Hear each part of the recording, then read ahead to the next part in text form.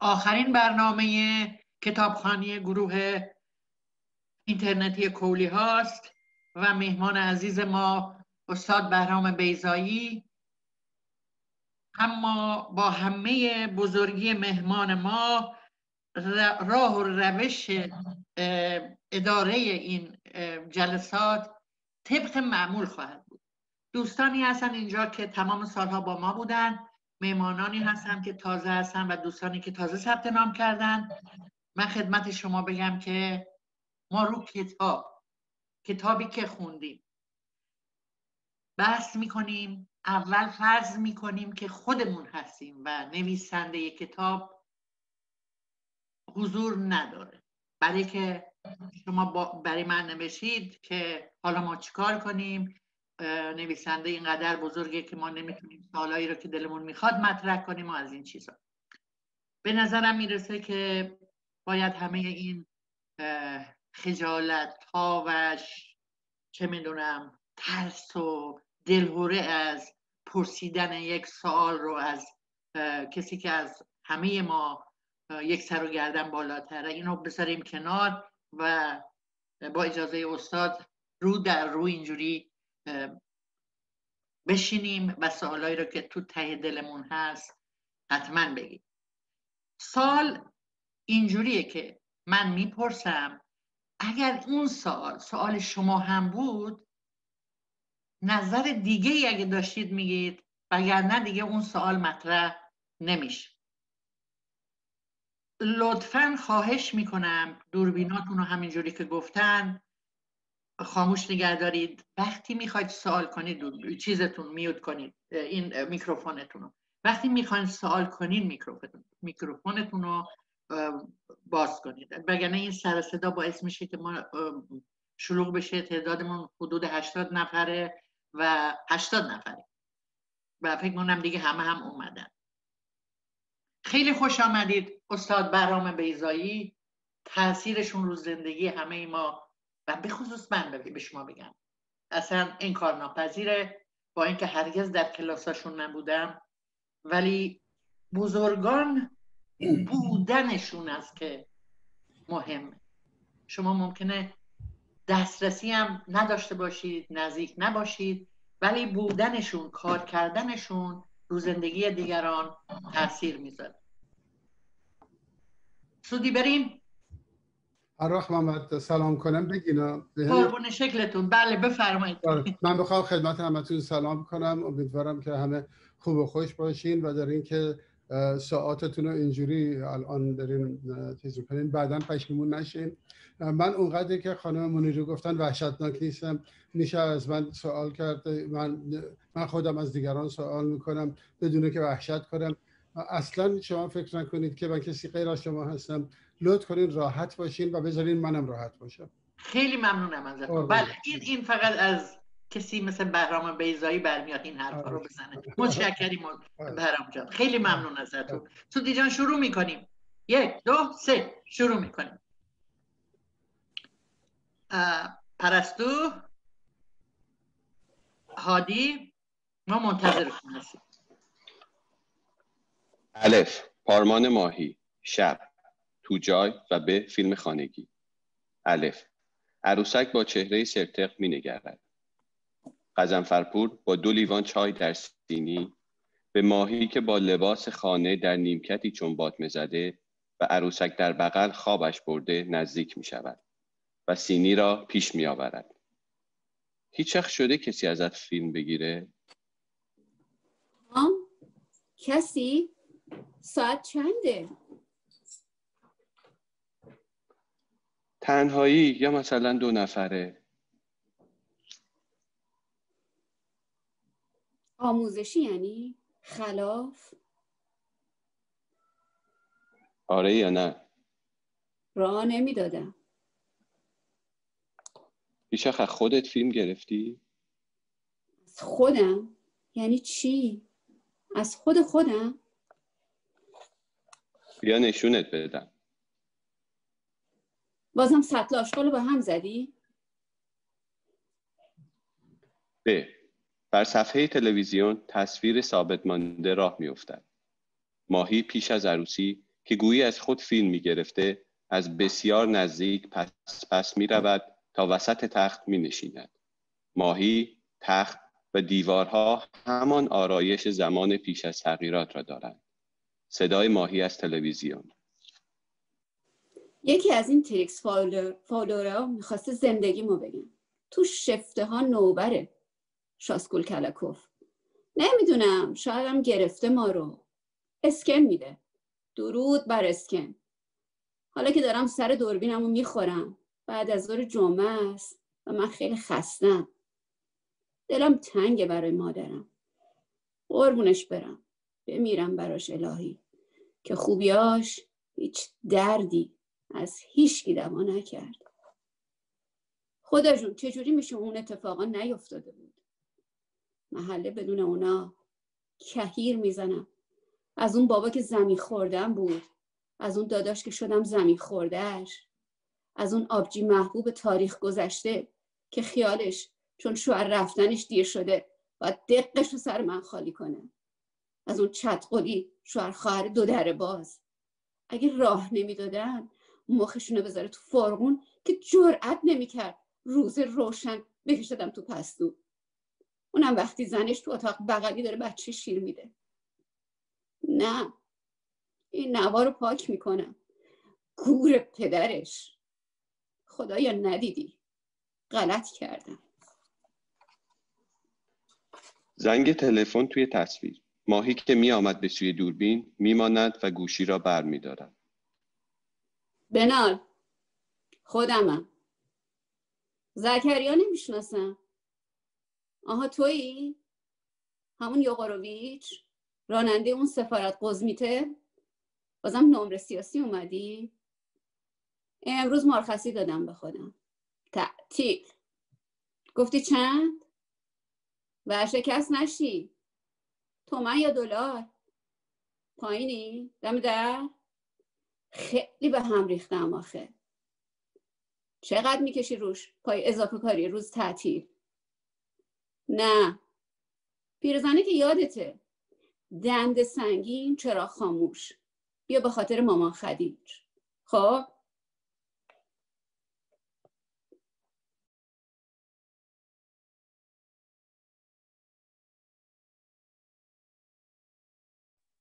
بسیار عالی ممنون ازتون. این گروهی که ما داریم گروه کتابخونیمون از دل گروه کتابخونی اومده بیرون. برای همین یک ذره حالت آموزشی هم داره. ما داستان میخوندیم بعد می روش بحث می‌کردیم. داستان همدیگر رو میخوندیم. بعد رفتیم رو کتابای دیگه. یکی از موضوعاتی که ما روش بحث کردیم اینه که کتابی که وقتی تمومش می‌کنی تازه شروع میشه اون کتابه. کتاب داستانی که وقتی تموم میشه و تو یه داستان دیگری روبرود قرار می‌گیره اون داستانه. من می‌خوام از دوستان بپرسم که بعد از خوندن این کتاب وقتی کتاب رو بستید چه داستانی در ذهن شما شکل گرفت؟ لطفا نوبت بگیرید.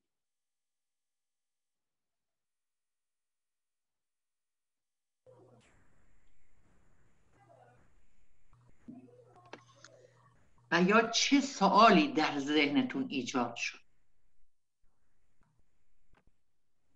توی چت می‌تونید وارد کنید شماره بنویسید فقط یک به ترتیب بچه ها صدا می‌کنن. اشکان به ترتیب صدا می‌کنه. اینکه اینکه یعنی کتاب خوب مقصودم اینه داستان خوب اینه که شما را با سوال روانه زندگیتون بکن.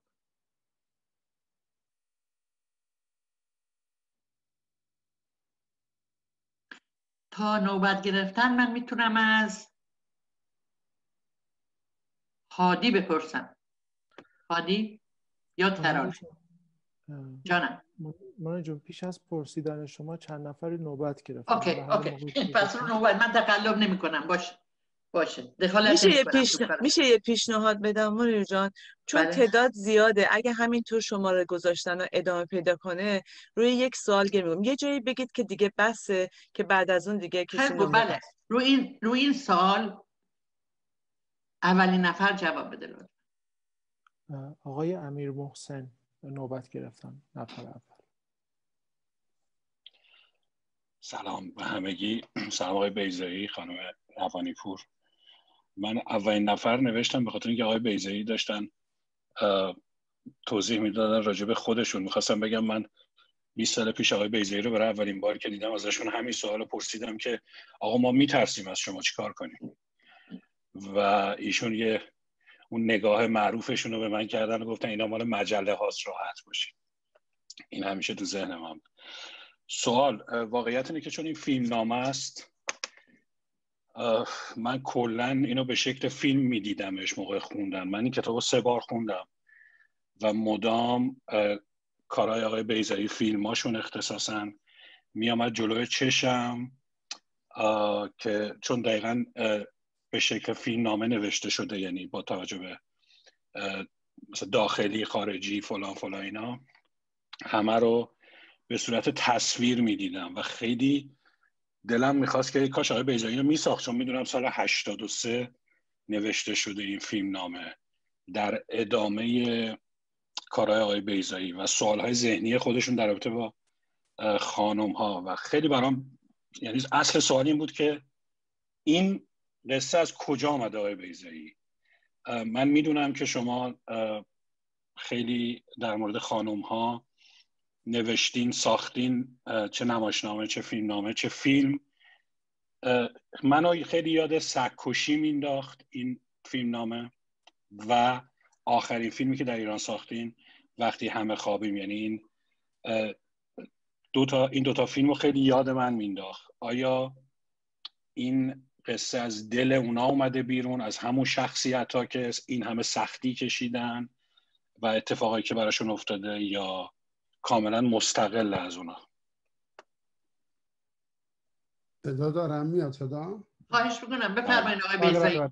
من پس ناچارم از اول شروع کنم. اولش اینه که نه واقعا من آدم ترسناکی نیستم. در بسیاری موارد این دیده شده و خود منو از خودم نترسونی. اه، دو اینکه من راجع خانم ها ننوشتم. من راجع یک جامعه ای نوشتم که خانم ها اگر بیشتر از نصفش نباشن لااقل نصفش هستن. بنابراین به قدر همون قدر که من راجع اونا نمی‌دونستم راجع آقایون هم نمی‌دونستم. با نوشتن اصلا به شناخت راجع آقایان و خانم ها هر دو و اون جامعه رسیدم. یعنی بدون شناخت این, این مردمی که توی این جامعه شناختن این جامعه ممکن نیست. نکته آخر اینه که بله ممکنه که این توی اه، طیفی باشه که این دوتا فیلمی که اسم بردین توش هست. یعنی که ممکنه. برای اینکه به هر حال یک فیلم شهریه به هر حال راجع کسیه که درسته که تو خیابون وای میسه ولی به نظر میاد یک فرهنگی هم پشت سرش هست با وجودی که سعی می‌کنه لاتی لاتی لاتی باشه ولی به هر حال یک چیزی یک یک بنیادی یک پشتوانه ای از یه تجربه هایی و یا از گذروندن یک دوران تلخی درش وجود داره و غیره. این این کاملا ممکنه. عجیب نیست اگر از اون طیف در اومده باشه. اگر شما تصویری دیدینش من خوشحالم پس جای یکی از فیلم های نساخته من ممکنه پر کنه. گرچه هرگز فکر نمی کنم که برای من پر کنه. درست. دقیقا درست.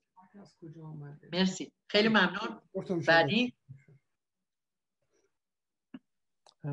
بیتا جان نوبت شماست.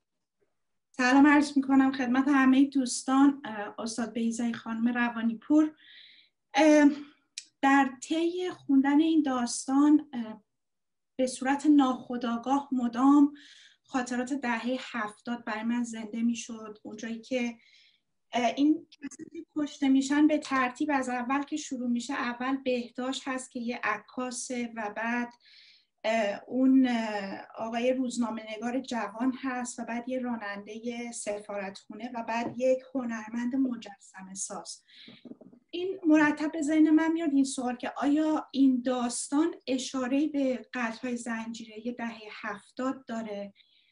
و سوال دیگه که داشتم که خودم دوست نداشتم فکر کنم که ماهی در نهایت همدست این جریان میشه. ولی خب برام این سوال هست که آیا واقعا اینطوری بوده؟ یعنی اون به اون شکلی که همین سالهای اخیرم بحثش بود که یه سری زنها هستن که همدست میشن و به صورت پرستو دخیل این برنامه ها میشن. آیا واقعا اینطوری بوده؟ یعنی این سوال مدام تو ذهن من بود که آیا واقعا اینطوری هست؟ و خواستم ازتون تشکر کنم. و یه, یه نکته دیگه هم عوض می‌خوام. خواستم خواهش کنم که ببینم آیا امکان داره که توی چاپ های بعدی لغتنامه به این کتاب اضافه بشه؟ چون کلمات واجه های بسیار زیادی که من هنوزم خیلی هاشو نتونستم واقعا معنیاشون رو پیدا بکنم. اگر که اونم امکان داشته باشه اضافه بشه که خیلی متشکر میشه ممنون یکی که آیا این اشاره داره به قتل زنجیره یا نه؟ طبیعی منعکسه. یه جوری بازتاب اونه. هر کسی می‌تونه برای خودش یک فهرستی در ذهن داشته باشه. از قتل هایی که دلش می‌خواد انجام بده و یا انجام میده. این اولین کار در جهان نیست که راجب کسانی است که خودشون در ذهنشون مردم محاکمه می‌کنن و اعدام می‌کنن. قتل زنجیره ای بخشی سیاسیه. بخشیش می‌دونیم که راننده ای بود که زنها رو میکش یکی بود که چکار کلی از این آدما داریم. حتی در دوران خیلی سالهای پیش یک مردی بود که با پسرها تجاوز می‌کرد بعد میکشت. می‌دونید یعنی یک قتل های زنجیره ای اما ملت قتل های زنجیره ای تا حدودی هستیم. بنابراین حالا اونا زورشون رسیده و قتل های زنجیره ای خودشون رو انجام دادن. ما توی ذهن می‌کشیم. این بخشیه که بله این به های زنجیره ای رو کمی یادآوری می‌کنه و شاید هم عمدی. آقای چی فرپور در واقع حالا کسیه که ناموسی غیره غیره غیره حالا به این اسم یا هرچی کسی است که خودش مردم شناسایی می‌کنه خودش مردم محاکمه می‌کنه و خودش قتل انجام رأی میده و خودش هم قتل انجام میده. نکته دو راجبه این که ماهی همدست میشه. ماهی همدست نمیشه ماهی متوجه میشه که داره از فیلماش و فلان یک جایی متوجه میشه که داره از اینا استفاده میشه. به این ترتیب اون این همه ماست. که از هر اطلاعی که دادیم از هر حرفی که دادیم اطلاعات گرفتن برای شناسایی دیگران. از هر تلفن ما از هم حالا ایمیل ما از هر قرار مدار صحبت شنود فلان این حرفا که ما یک جوری در یک قتلی هستیم که اصلا ازش خبر نداریم. یه وقتی متوجه میشیم خودمون همدست بدون که خواسته باشیم و دانسته باشیم همدست کسانی هستیم که از اطلاعاتی که ما همین جوری همین الان همین الان در این چیز رسانه های اینترنتی و اینا همه دارن اطلاعات را دو بدل می‌کنن و همه همدست کسانی هستن که بعدا از این اطلاعات استفاده می‌کنن. توجه می‌کنید؟ این یک سیستم این یک نظامه که در واقع خیلی دیر متوجه میشی که توی این شرایط هیچ کس نمی‌تونه مطلق پاک بمونه.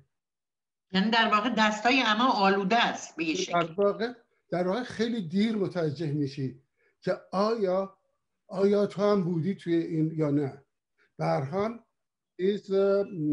خوشبختانه ماهی یک جایی یه چیز میشه که همه اینا اون کسانی هم که یک جوری تو فیلماش هستن.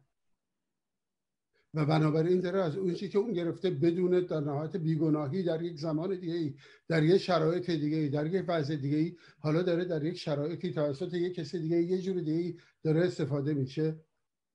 و از اونجاست که سعی می‌کنه اینو عوض کنه. طبیعیش که زورش نه زورش نه اطلاعاتش نه هیچیش به اندازه اون نیست. ولی با همونی که خودش هست سعی می‌کنه اینو عوض کنه. بنابراین بله این داستان اصلا همین هست. اون بدونه که بخواد در یک جایی قرار می‌گیره که متوجه میشه از هر کاری می‌کنه هر می‌دونن. و از هر کاری می‌کنه اطلاع دارن.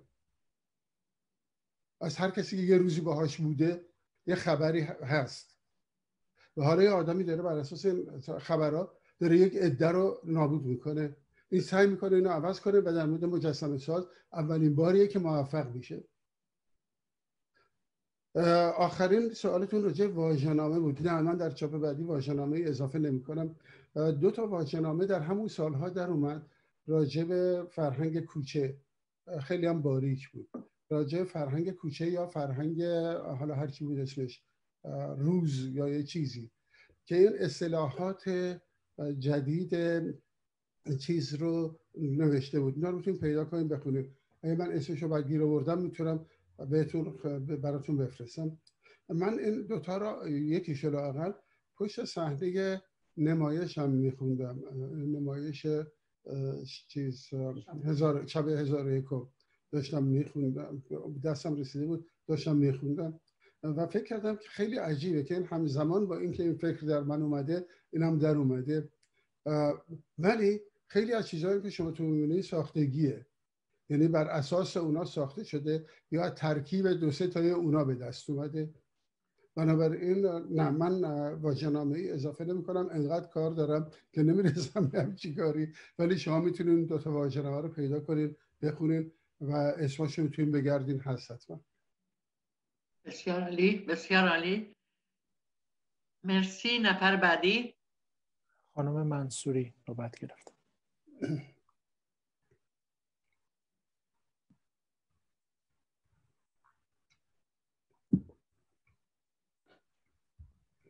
خانم منصوری؟ منصرف شده. نه خیر. بسته میوت چیزش. خیلی خوب. بگو. با سلام معذرت می‌خوام. من این کتاب رو دوبار خوندم و روی قسمت سیاسیش اصلا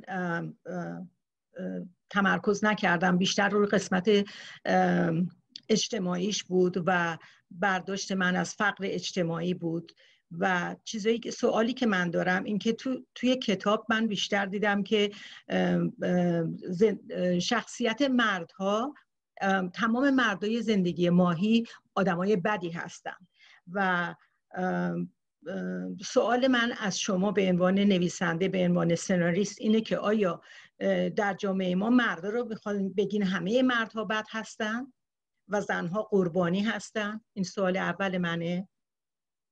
و سوال دیگه قسمت عکس و ویدیویی هست که گرفته شده.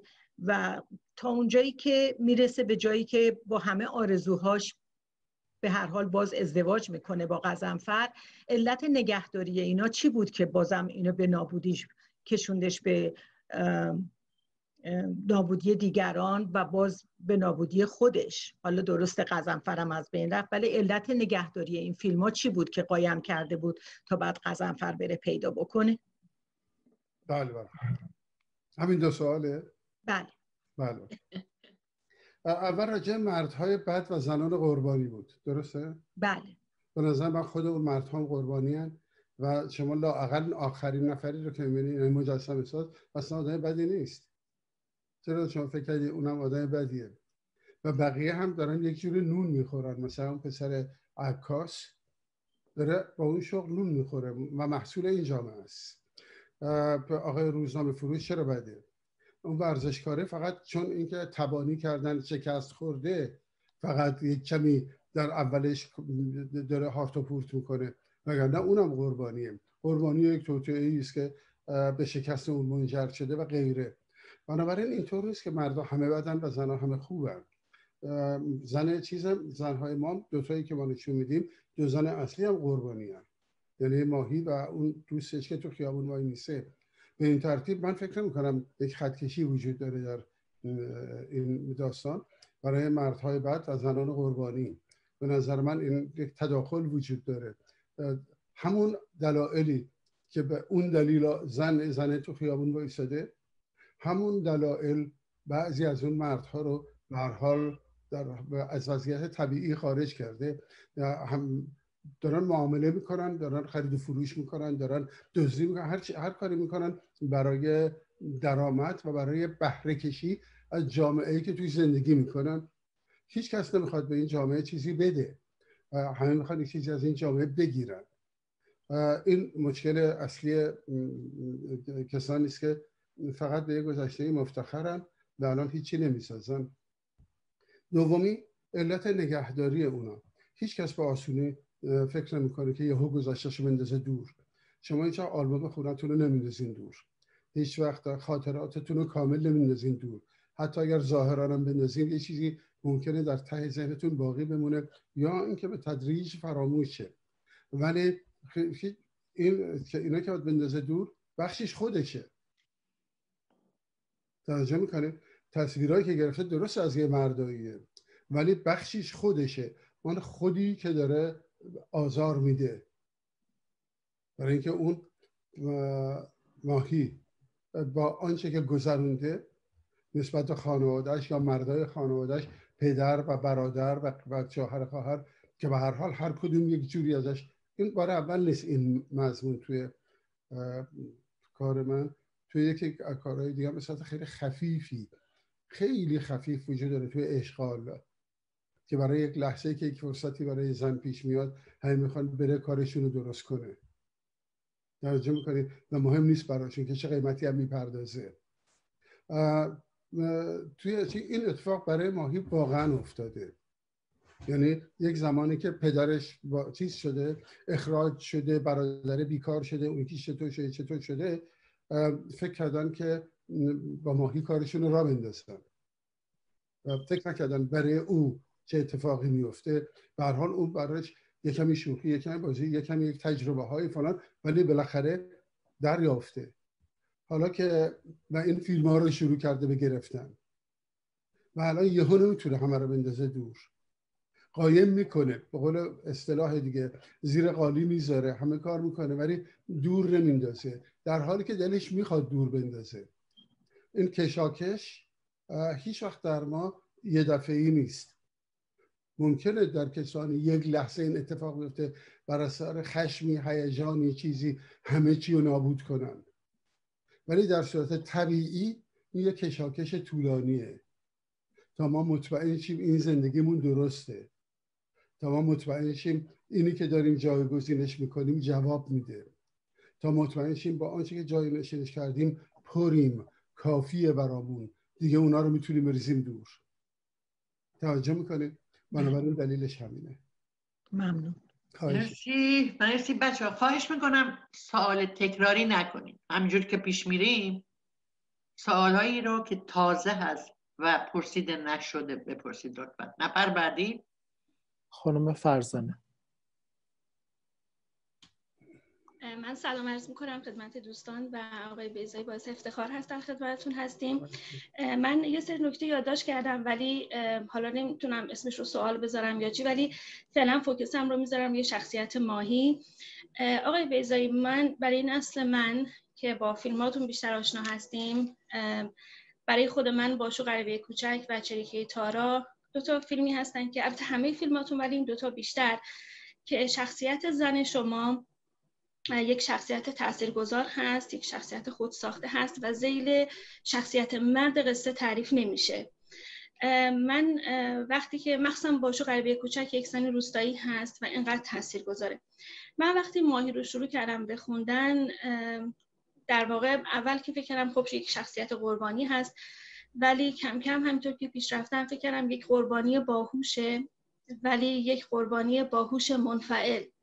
یعنی حداقلش اینه که ماهی اگر یک هویت اجباری داشت و یک سرنوشت اجباری که توسط مردهای خانواده بهش تحمیل شد و تا یه حدی پیش رفت و به ورطه سقوط افتاد. اما انتظار داشتم که این شخصیت قربانی باهوش در یک جایی مثل همه شخصیت های دیگرتون در واقع قدم برداره برای نجات خودش و از اون ورت خودش رو نجات بده. اما در از همینطور که پیش رفتم احساس کردم که ماهی خودش انتخاب کرد که در اون پرتگاه از نظر مثلا ما نگاه اجتماع بمونه و ادامه بده و در واقع راضی شد به نظر من. در حالی که من فکر می‌کنم وقتی فرپور که یک اسم سخت خانی هم هست و مطمئنم که شما یه عمدی پشتش داشتین در انتخاب این اسم فرپور وقتی میاد شاید خواننده فکر می‌کنه که خب معجزه داره اتفاق میفته و این مرد قراره این رو نجات بده. اما همطور که فرمودین فرپور به نظر من هم نماینده جامعه ماست که دائم گذشته هی اصرار می‌کنه که این فیلم ها رو بیا با هم ببینیم و نگه داریم. و دائم داره این رو هم می‌زنه این گذشته این زن رو. مثل جامعه ما ما مثلا در تفکر سنتی فرد رو با گذشتش تعریف می‌کنیم با عقبش با پیشینش اما در تفکر غربی و روشنفکرانه فرد رو با حالش با تواناییهاش و با شخصیت موجودش تعریف می‌کنیم. شاید انتظار ماهی به عنوان یک زن باهوش قربانی بود که قزنفرپور توانایی های و جذابیت های حال اون رو بپذیره و ادامه بده. وقتی ازدواج کردن تنها بارقه امید اون ازدواجشون بود. اما من همینطور که پیش می‌رفتم به ورقای کتاب که نگاه می‌کردم چون انتظار معجزه داشتم به هر حال یک جایی ماهی بیدار بشه و خودش رو نجات بده. اما متاسفانه پایان تلخی داشت و ماهی انتخاب کرد که حالا طبق یک سلسله اتفاقاتی که افتاد انتخاب کرد که در اون ورته بمونه و تغییری حس نکنه. من احساس کردم یک چرخشی در شخصیت پردازی زنان شما در ماهی اتفاق افتاد. یعنی اون شخصیت پردازی که در باشو دیدیم در چریکه تارا حالا سکوشی رو که دوستان اشاره کردم باز هم در سکوشی ما یک زن قربانی داریم که قربانی جامعه است. اما اگر ممکنه بفرمایید که چرا یعنی برای من سوال هست که چرا ماهی موند و تغییر نکرد؟ و نشکند اون قفس رو و رها نشد. متشکرم از شما. من اگر سوال شما رو خوب فهمیده باشم و اگر بتونم که به اون مرتبی که شما اینا رو گفتیم مرتب کنم توی ذهنم خیلی معجزه کردم. ولی سعیمو می‌کنم. بذارین بگم. یک راجع تارا و باشو. اونا دو زن روستایی که کار می‌کنن روی زمین و در واقع فشار استبداد دینی و اخلاقی دروغین توی شهرهای بزرگه. توی شهرهای مرکزی و شهرهای دینی و شهرهای حکومتیه. توجه می‌کنید در یک طبیعت ول زنها یک تعریف دیگه ای دارن و مردها یک تعریف دیگه ای دارن خیلی توی چیز توی بسیاری از روستاها. من قلم بارها گفتم حالا شما چون جوانید بعد نیست یک بار دیگه گفت بگم که شما هم بشنید در بسیاری از جاهای همه جای دنیا و در ایران تعریف زنها توی شهرستان ها روستاها توی خیلی جاها متفاوته با اونچه که توی جاهای دینی متمرکزه. خب مثلا تعریف متفاوته. زنها میگردونن توی شمال زندگی رو و نه حالا همپای مرد گاهی بهتر. و این که شهرستان ها هم همینطوره. و حتی خیلی بهتر یعنی عاقلانه تر و غیره. کسانی که توی ماهی هن اگر این دو کلمه قربانی و یه چیز دیگه هم شد نجات هم.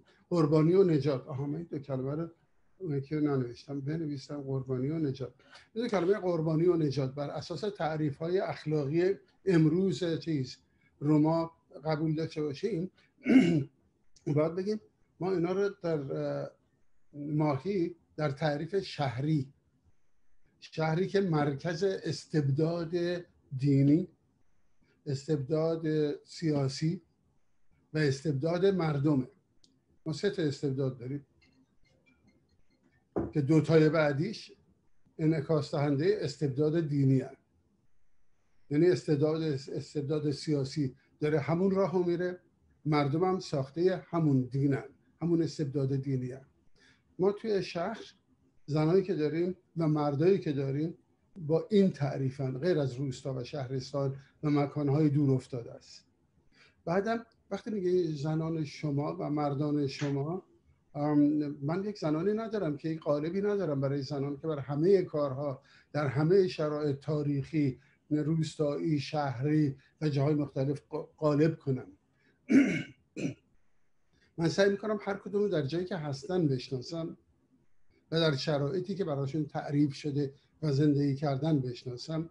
به این ترتیب من فکر می‌کنم ماهی شناخته من از این جور شخصیت تو این جور وضعیت در یک شهر چیزه. من فکر می‌کنم ماهی در تمام لحظه به لحظه زندگیش در حال یک جور مبارزه برای بقاست. خیلی فرق می‌کنه با تارا. یا خیلی فرق می‌کنه با, با, با که خودش میره جلوی خونش مزرعه رو چیز می‌کنه خودش در چیز میشینه طبل می‌زنه برای گراز رو بتارونه و خودش به بقیه نون میده. خیلی با اونه که خودش product می‌کنه. ماهی هم داره خودش product می‌کنه. داره لذت برای دیگران به وجود میاره برای اینکه بتونه نون نونش در بیاره. توجه می‌کنه. بنابراین این در یک تعریف دیگه است. در یک شرایط دیگه است. اون در یک شرایط دیگه است و هر دو به یه نتیجه نمی‌رسه. تارا مستلزم چیز نیازمند نجات نیست. نایجان نیازمند نجات نیست. اگر کلمه نجات و کلمه قربانی رو ما اصلا قبول کنیم. ما بدبخت این هستیم که قرن هاست منتظر نجاتیم. توجه می‌کنید؟ اون, اون کارش می‌کنه خودش کار می‌کنه خودش میپزه خودش بچه هاش میده خودش می‌خوره سفره رو پخ می‌کنه و سفره رو جمع می‌کنه. این یک زن دیگه است تارا و باشو این یک زن دیگه است ماهی. حالا نکته داره اینه که ماهی به عنوان زن شهری حالا تعریف های جدیدی داره. یک کمی سواد داره. خاطره داره. دوربین دوربین فلان در اختیارشه. یعنی یکی از مشتریاش دفعه جا گذاشته رفته پول بیاره دیگه نیومده. توجه می‌کنه اینطوری در اختیارشه. می‌تونه از اون استفاده کنه. می‌تونه خاطره بگه. می‌تونه در واقع راجع پدرش راجع فلان اینا یه احساس دوگانه نفرت و عشق داشته باشه.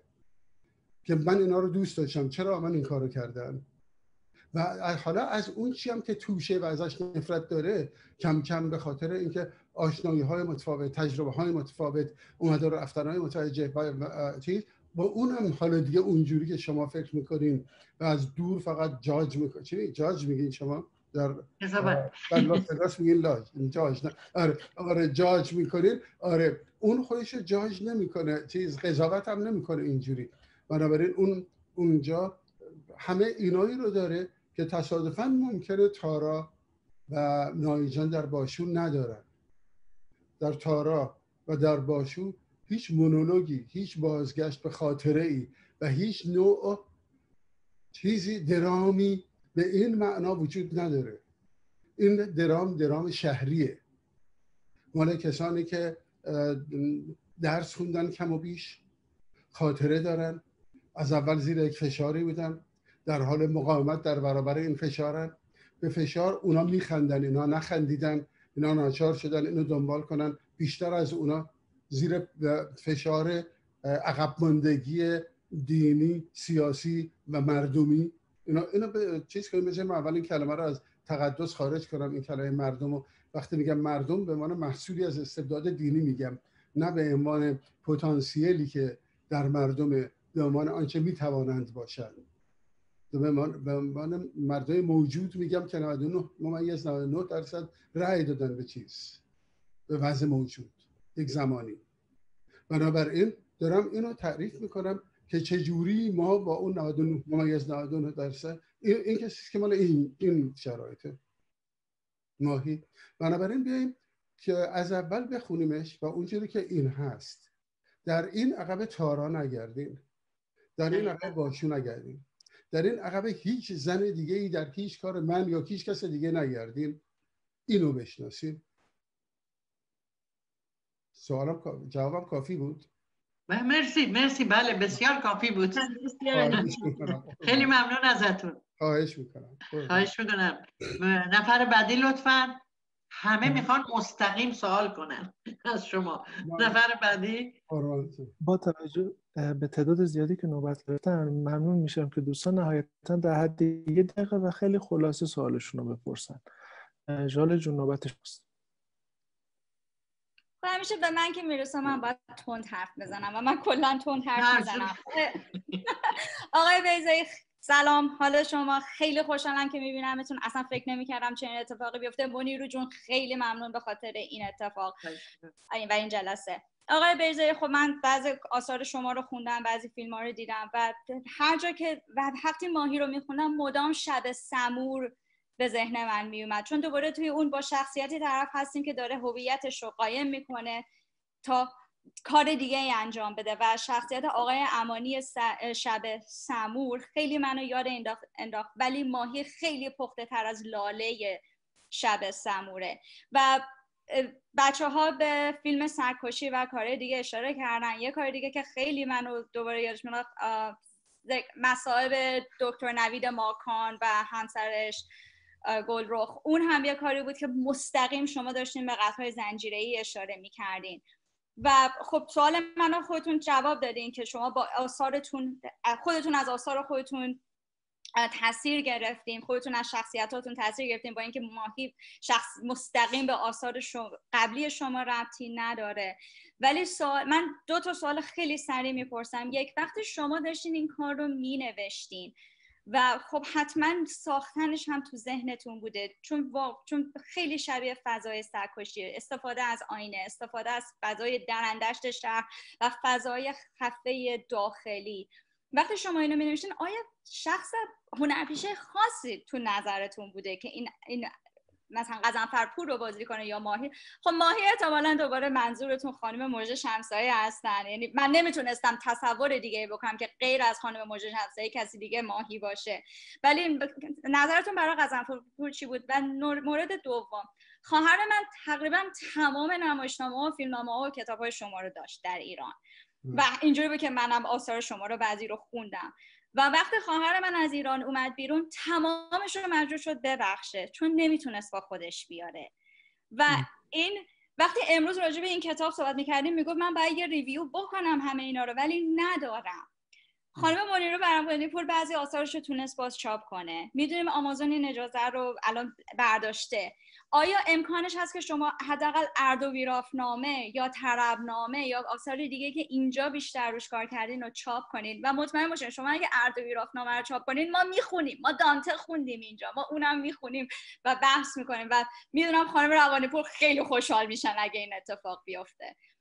خیلی ممنون. بازم ممنون از این ساعتی که اختیار ما گذاشتیم بنابراین شما دو سوال دارین من هر دو رو جواب میدم. که یکیش اینه که چه شخصیتی اختیار می نوشتم فکر می‌کردم اینو بازی می‌کنه. خوشبختانه قزم فرفور زیاد داریم توی چیز. ولی طبیعی بله من فکر می‌کردم شخصیت برای بازی قزم فرفور خیلی زیاد داریم. اصلا نگران اون نه سخته. قزم فرفور بازیش خیلی سخته. برای اینکه باید یک قزم فرفوری باشه که ما حدسش نزنیم. ما باید در واقع وقتی هم که چیز می‌کنیم به اونم یه جوری حق بدیم. نه حق بدیم که این کارا رو بکنه بلکه حق بدیم چه جوری شده این. اون خودش هم چه جوری شده این. یعنی این آدم بیمار دو چندگانه چیز که هم فکر می‌کنه یعنی نماینده استبداد موجود که هم فکر می‌کنه می‌تونه تجسس کنه هم فکر می‌کنه می‌تونه قضاوت کنه هم فکر می‌کنه می‌تونه شکنجه کنه زور بگه و هم می‌تونه آخر سر قصاص کنه. یعنی چجوری چجوری او هم شده این؟ باید فکر جواب سوالتون که کی بازی کنه. چاپ اردویراف به خاطر خوشحالی خانم منیرو روانی پور ما در نظر داریم حتما اردویراف چاپ آقا جان پس جلسه بعدی کتاب نه نه نه. و هر وقت چاپ شد. بله بله بعد از چاپش بله, بله. بله. چون خیلی خوشحال میشن. ما دیگه اصلا چاره ای نداریم. جز اینکه برای خوشحالی خانم روانی بود اردوگراف چاپ کنیم. ولی فکر می‌کنم امیدوارم یعنی اگر همه چی درست درات که یه چند تا از این کارا رو به همین ترتیب می‌خوایم چاپ کنیم. خیلی عالی. بسیار بسیار عالی. همه ما منتظر هستیم. همه ما منتظر هستیم. بچه ها سوالاتون رو لطفا نگاه کن. الان نزدیک یک سال داره میره. ما هشتاد نفریم. سوالاتون رو جمع جور کنید با خب؟ یه کمی جمع جور. اصل سوال رو بگید خب؟ ابراز احساسات برای آقای بیزایی آخر جلسه. خیلی خوب. نفر بعدی. عکس منو بذاریم به دیوار و دارت پرت کنیم. خب. بعدی؟ نسیم جان نوبت به نسیم. با سلام خدمت استاد و بقیه دوستان. من سوالی که خانم روانی پور گفتم منیر جون گفتن اول جلسه دقیقا چیزی بود که برای من پیش اومد. گفتن وقتی کتاب رو بستید چه سوالی براتون پیش اومد؟ من وقتی کتاب رو یعنی وقتی میخوندم فکر نمی‌کردم این سوال رو دارم. ولی وقتی کتاب رو بستم یه چیزی به من گفت نکنه ماهی اصلا چیزایی که از گذشتش گفته درست نباشه و تو فقط باور کردی اون موقع که خوندی ماهی پدرش برادرش شوهر خواهرش بهش تجاوز کردن برای همین اومده و دختر خیابون شده. سوال دومی که بیشتر از اون ذهن منو مشغول کرد این بود که قزنفرپور چرا قزنفرپور شد؟ چی, پشت، چی پشت اون بود؟ این لایه های روانشناسی این چیزی که تو اجتماع اونو به این سم سوق داده بود چی بود؟ من دلم می‌خواد که شما یه ذره بیشتر در مورد این دوتا شخصیت راهنمایی کنید. حالا چطور؟ بذارید برام سال دومی خیلی چیزه. خیلی وقت می‌بره. من یاد یه ذره یاد بیجه انداخت که الانم بهش اشاره کردیم ولی نمیفهمیدم که آخه چه چقدر می‌تونه اتفاق برای آدم افتاده باشه که همچین کاری بکنه. اول نکته اول این که آیا ماهی دروغ می‌گفت کاملا ممکنه. چون ماهی بدون خلاقیت نیست. می‌تونه اصلا بیوگرافی ساختگی باشه. می‌تونه باشه. ولی وقتی ما به خاطره میریم متوجه میشیم که این آن بیوگرافی که اون الان داره میگه خیلی هم بدون چیپ بدون پشتوانه نیست. صحنه که خیلی شاید توی اون تیکه مهمه صحنه توی کافه است. که پدر میاد آشتی کنه و میگه که این کیه؟ و هی به روی خودش نمیاره. میگه یه پولی بهش بده بره. در واقع تمام چیز نشون میده که ما برمیگردیم به این که پس راست می‌گفت.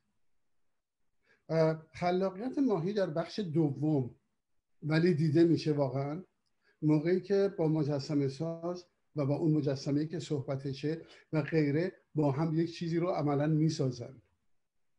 یک چی میگم یا جایی که می‌تونه اون یارو عرقه رو برداره برعکس کنه اونو اونجوری کنه شروع کنه در حد خودش. ببینید در تعریف و در چارچوب خودش فکر کنه که چجوری از این مخمسه دره. اولش خوشبینی یا امید باعث شده که فکر کنه به قول اون خانم که یک نفری نجاتش میده. گرچه من فکر می‌کنم معنی نجات در ذهن اون همینیه که الان وچی در ذهن همه ایرانیان به طور یکسان هست. نیست.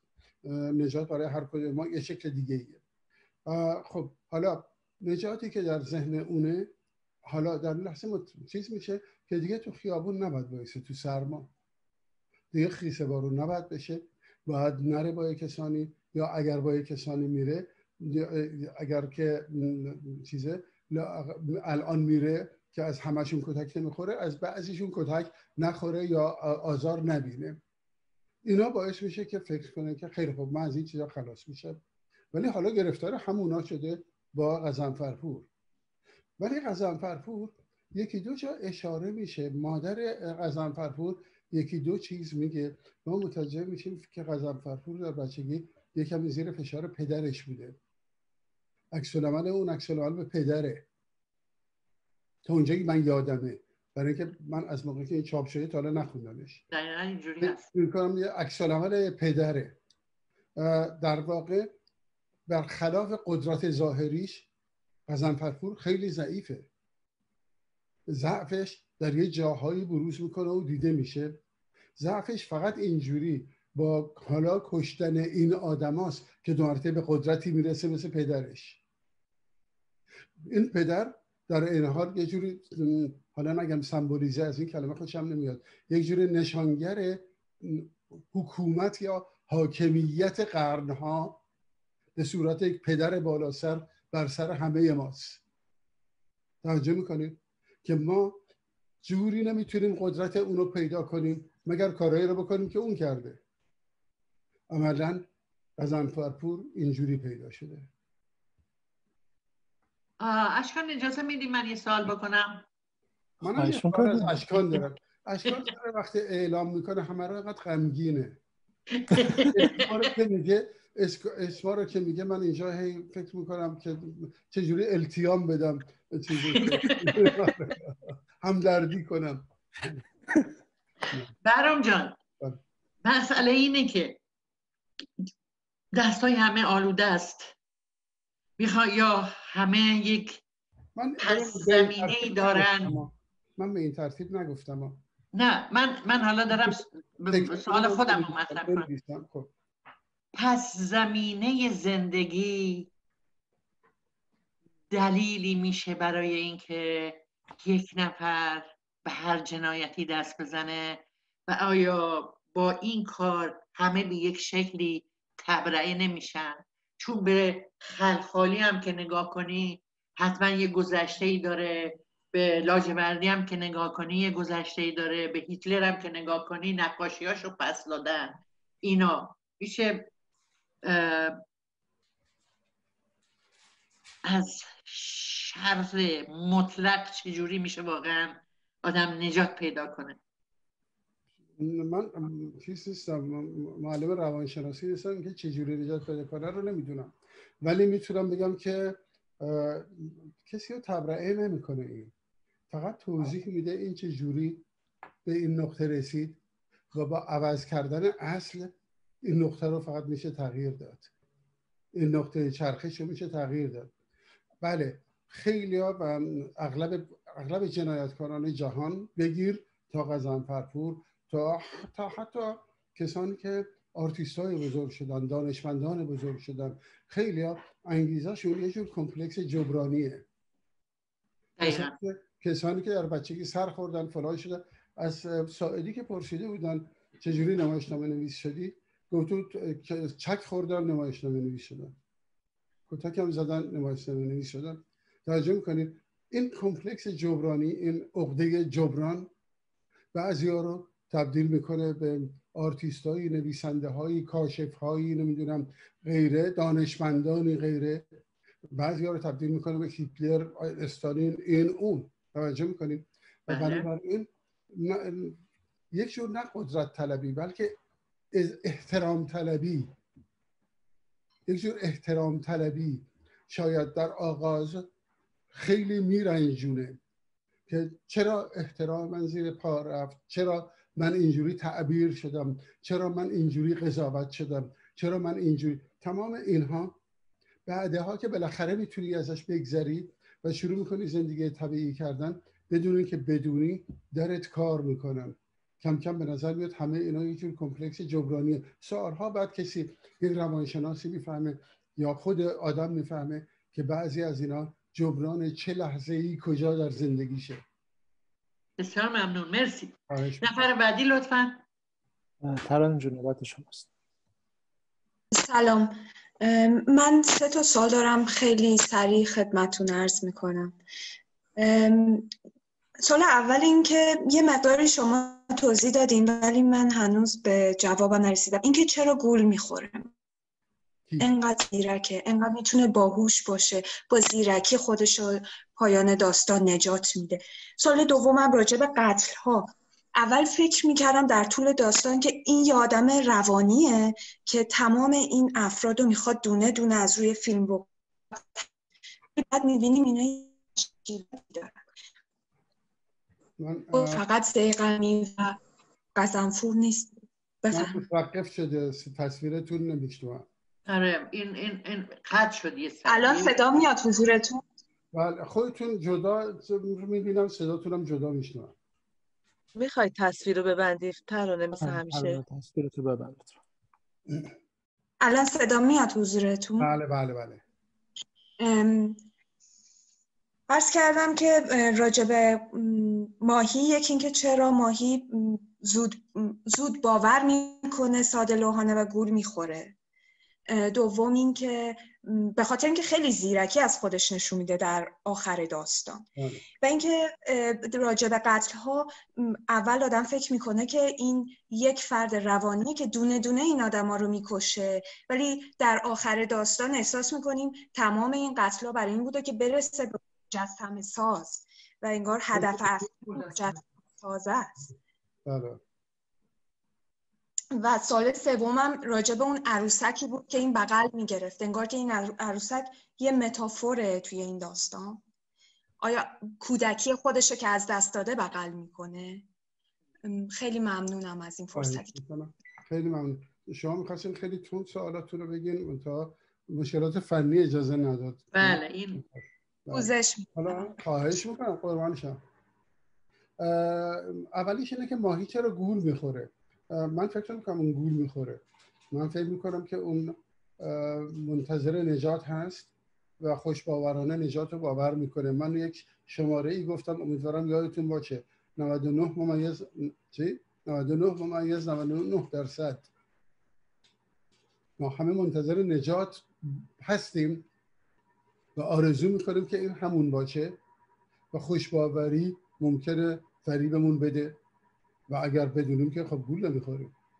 فکر شاید این همان است. خیلی جالبه که توی چیز توی داستانهای آمیانه یه داستانی داریم برعکس این. راجبه یک جوانی که بهش وعده داده میشه که در این راهی که داره میره خوشبختی رو می‌بینه بزرگترین خوشبختی به دستش میاد. و این همجور که میره اول یه کسی میاد فکر می‌کنه نه من که قرار بزرگترین خوشبختی دستم بیاد. میندازه دور دومی همینطور سومی همینطور چهارمی همینطور فلان. و اینا و آخر سر نابود میشه. برای اینکه فکر می‌کنه بزرگترین. و آخرین نفر بهش میگه تو آن احمقی هستی که همه خوشبختیات ریختی دور. اجدهاست زیر درخت نشسته. داستانی مال سمد برنگی نه مال سمد برنگی نیست قدیمیه. سمد آره این این جز مطل هایی که جمع آوری کرده تو کتابش. بله بله. یه افسانه اینجوری هست. داستان خیلی قدیمیه خیلی خوبیه. به نظر من. بله. آره. که از اون طرف بعدا با خودمون رو محاکمه می‌کنیم. اگر اون روز من اینو قبول کرده بودم اگر اون روز اینطور می‌شد اگر آنطور خودمون شروع کنیم خودمون رو محاکمه کردن که چرا من اون روز این کار رو نکردم؟ بنابراین این یه نکته مهم تضاد یا یک چالش مهم درونی هر بشری است با خودش که آیا این نقطه درست تصمیمه یا نقطه غلطه و آیا اون قبلی درستتر بود یا اون بعدی. این اینطوریه بنابراین اون گول نمی‌خوره ساده لوح نیست. با همه وجودش فکر می‌کنه که بله اگر اینم از دست بدم ممکنه دیگه چیزی جز به دست نیاد به ایمان نجات برای من و به همین دلیل انتخاب چیز می‌کنه قبولش می‌کنه. قتل ها که میگین روانیه حتما روانیه داره که شکی نیست. هم خانه خواستن برای قزم فرفور روانیه و هم دوست داشتن ماهی براش چیز یک جورایی درسته. و هم اینکه بعدا این اون چیزیه که مال این دوره چیزه در واقع در یک کسوت اسمن ناموز پرستی در واقع اون چیزی که ما براش در کردستان گردن بچه‌مون رو می‌زنیم در گیلان سر دخترمون رو اره می‌کنیم در اونجا فلان. این چیز داعش ماعش میریزیم مدرسه ها رو چیز می... این اون چیزی که به عنوان ذخیره فرهنگی جاهلیت به هر حال به ما رسیده به اسم ناموس و غیرت یا فرهنگی جاهلی. در, در واقع این حالا به اون قدرت میده برای اینکه بتونه یکی یکی کسانی که حالا فکر می‌کنه این زن منه به یکی یکی اینها بهش تجاوز کردن و شروع می‌کنه به یکی یکی اینا رو از بین بردن. منطق یک ذهن بیمار جز یک استدلال بیمار نیست. شروع می‌کنه یکی یکی اینا رو از بین بردن و اون وسط ها برمیخوره مجسم ساز که اصلا در شغلش هم دنبال اون میگشته. نه اینکه از اول اون داره دنبال مجسمه ساز میگرده چون در این صورت اصلا احتیاج کشتن اون قبلی ها نبود. نه اون شروع می‌کنه به این کار ولی توی اونا زمرن پیدا می‌کنه مجسمه سازو. کسی که یک بار از دستش در رفته داستان در رفتن یک جایی داریم. توی ماشین که داشته می‌رفته بارون میامده و اون که داشته در می‌رفته ماهی رو سوار کرده. ما بعدا این داستان در زاویه دیگه ای داریم. که اون در جبه کف شماره اونو می‌بینه و تو اونجا که اون خوره چیز بوده میگه من از یک کسی در رفتم و اگر از این نجات پیدا کردم مجسمه تو رو می‌سازم که منو از اون نجات دادی در رفتم. بنابراین اینطوری نیست که از اول می‌دونه یک دنبال مجسمه سازه. اون کم کم با دیدن این فیلم ها به مجسمه ساز نزدیک میشه. عروسک درسته چیزتون. عروسک یه بیگناهی و چیز اولیشه یه جور اون بچگی قبل از بچگی کردن و چیز شدن ناگهان وسیله شدن و اون بیگناهی اولی است. بسیار ممنون مرسی. خب نفر بعدی لطفا. آرام جان نوبت شماست. سلام. من سوال زیاد تو ذهنمه اما با منیر جون میام جلو. سوالی که منیر جون کردن گفتن که اگه کتابو ببندین چه سوالی براتون مطرح میشه؟ برای من این بود. یه تفاوت فاحش وجود داره بین ماهی حالا زنایی که اونجا و زنایی که این برن من سوالم این بود که اگر ماهی جای اون سرزمین جغرافیایی این ور تو این سرزمین جغرافیایی این ور به دنیا می آمد آیا بازم همین سیستم براش پیش می آمد؟ من شما توی سرزمینی داریم زندگی می‌کنیم که برای اولین بار توی کره زمین این اتفاق افتاده که همه مردمان کره زمین رو جمع می‌کنن. حالا با تمام رفتاراشون فرهنگاشون ژنایی که دارن و یه فرصت دیگه حالا جای دیگه دارن زندگی می‌کنن. اینا با خودشون هم فرهنگشون رو آوردن هم جرماشون رو آوردن. اون جرمی که اونجا روی ماهی انجام شده می‌دونیم که اینجا هم ممکنه باشه. ولی آیا بعدها که این دختر بزرگ می‌شد آیا همین شکلی مجبور بود بره جلو؟ یعنی زندگیش همین شکلی می‌شد؟ می‌رفت نونش رو توی خیابون در می آورد یا اینکه ممکن بود یه جور دیگه باشه؟ یه یه تفاوتی من یه ذره احساس کردم بین زنی که اونجا بزرگ میشه دختری که اونجا بزرگ میشه و دختری که این ور بزرگ میشه. و این این سوالم بود و اینکه هنرپیشه فیلمتون رو وقتی داشتم میخوندم خانم داکوتا جانسون تو ذهن من اومد که فکر می‌کنم اگر ایشون می باشه نقشش خیلی زیبا می‌تونه بازی کنه. مرسی. من داکوتا جانسون رو نمی‌شناسم میرم بگردم پیدا کنم منم نمی‌شناسم. اینکه صورتی که از ماهی من کتاب شما من تا حالا فیلم نامه نخونده بودم. اولین بار بود که میخوندم گیج می‌شدم. می اومدم وسط داستان به توصیه منیر جون که سالها پیش به من گفت وقتی یه چیزی رو نمی‌فهمی برگرد دوباره از اول بخون. دوباره اومدم خوندم سعی کردم ماهی رو تجسم کنم. یه دختری بود بسیار مهربون. درونش تمیز بود کینه نداشت. اصلا نه مرد نه زن از هیچ کس کینه نداشت در صورتی که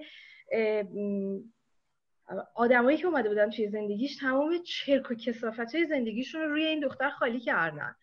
و, و این هیچ کدوم اینا رو دید فهمید ولی هیچ کدوم رو ذخیره نکرد و بعد سر یکی دیگه خالی نکرد. اصلا کارش این نبود. به همین دلیل من از توش یه عطری می اومد بیرون به نظر من یه عطر خوشی داشت. چون خیلی عاشقش شدن خیلی دوستش داشتن. اصلا این دختر خیابونی نمی‌دیدن.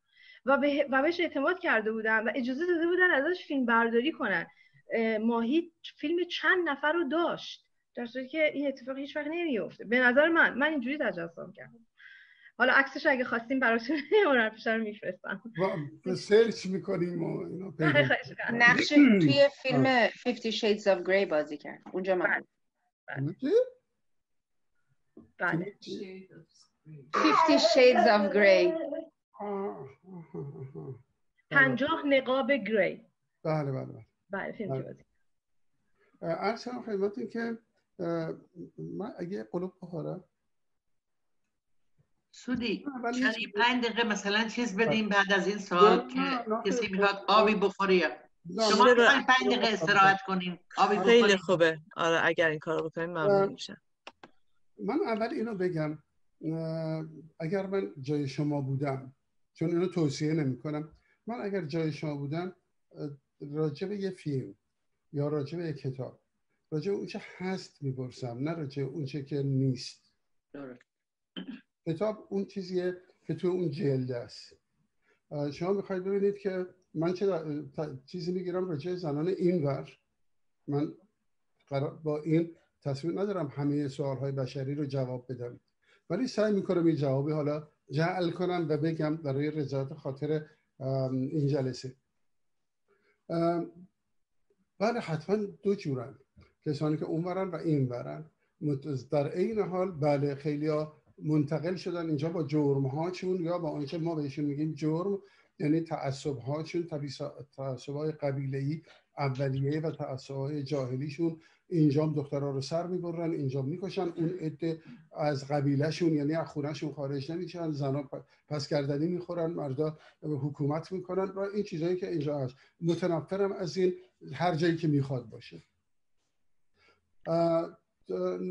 نکته دوم اینه که توی اینجا باز متفاوته.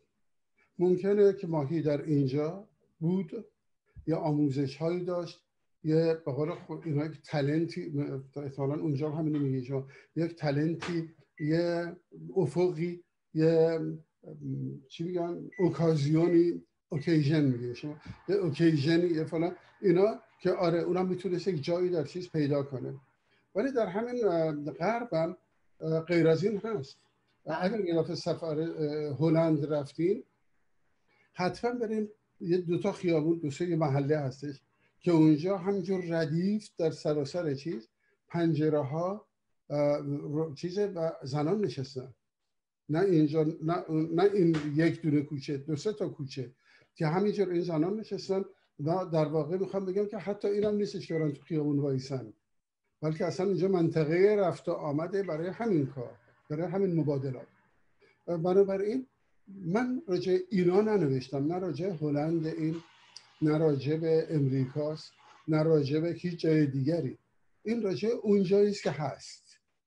حتما جاهای دیگه در هر شرایطی همه چی فرق می‌کنه. کم و بیش بعضی جاها ممکنه مهاجرت از طریق مهاجرت تعصب اومده باشه. گاهی ممکنه اصلا با مهاجرت فرهنگ اومده باشه. بعضی وقتا ممکنه کسی که در اونجاست این ماهی رفتار نکرده باشه. این راجع ماهیه.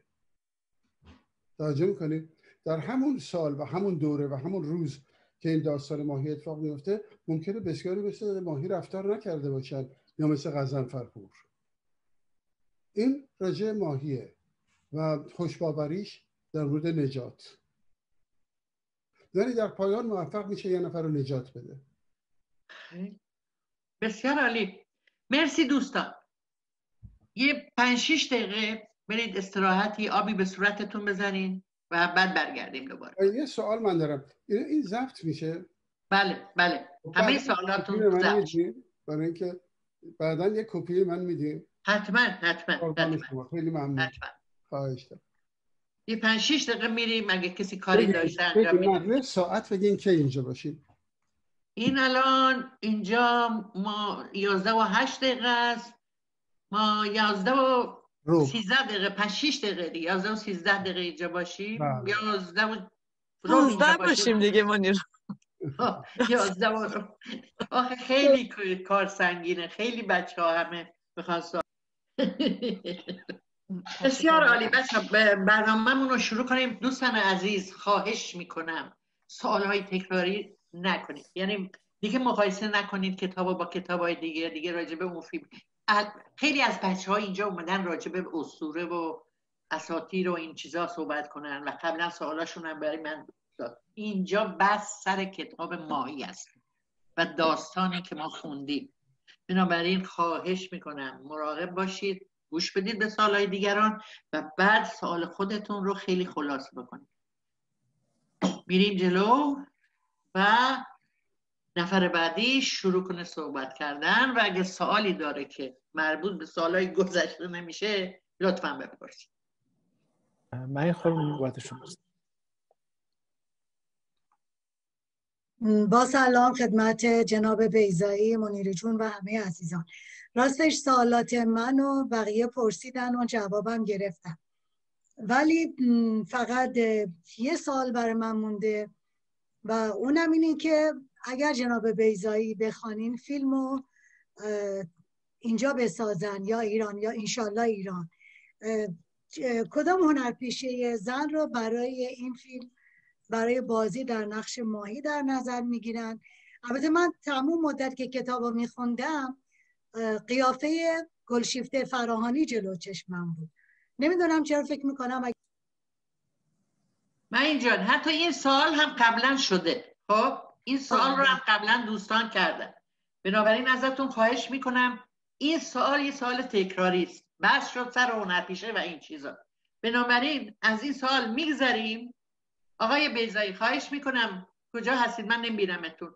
لطفا اون سوالایی که تا حالا جواب دادین رو دیگه برای خاطر که وقت نیست واقعا. بنابراین بله، ببخشید یه مطلب دیگه فقط کوچیک می‌خواستم بگم. در مورد حاملگی ماهی چند جا اشاره شده بود که این بارداره میره لباس بچه بگیره کالسکه می‌گیره. ولی بعد یه جا به نظر میاد در هرچی گشتم پیداش نکردم که این یه بالش چیزی بسته بوده به شکمش و اونو باز می‌کنه. آیا این واقعا حامله بوده یا تظاهر به بارداری می‌کرده؟ این الان سوالتون پس اینه. بله بله, بله. برای که سال قبلی تکراریه. بله. ولی من اون سال قبلی تونم یه جواب کوچیکی میدم. در فاصله این هفت دقیقه که تعطیل بودیم و اینا میدن ارادت قلبی پیدا کردم به داکوتا جانسون. متاسفانه متاسفانه اون فارسی بلد نیست فقط یه فکری براش بکنیم و اینا. آره.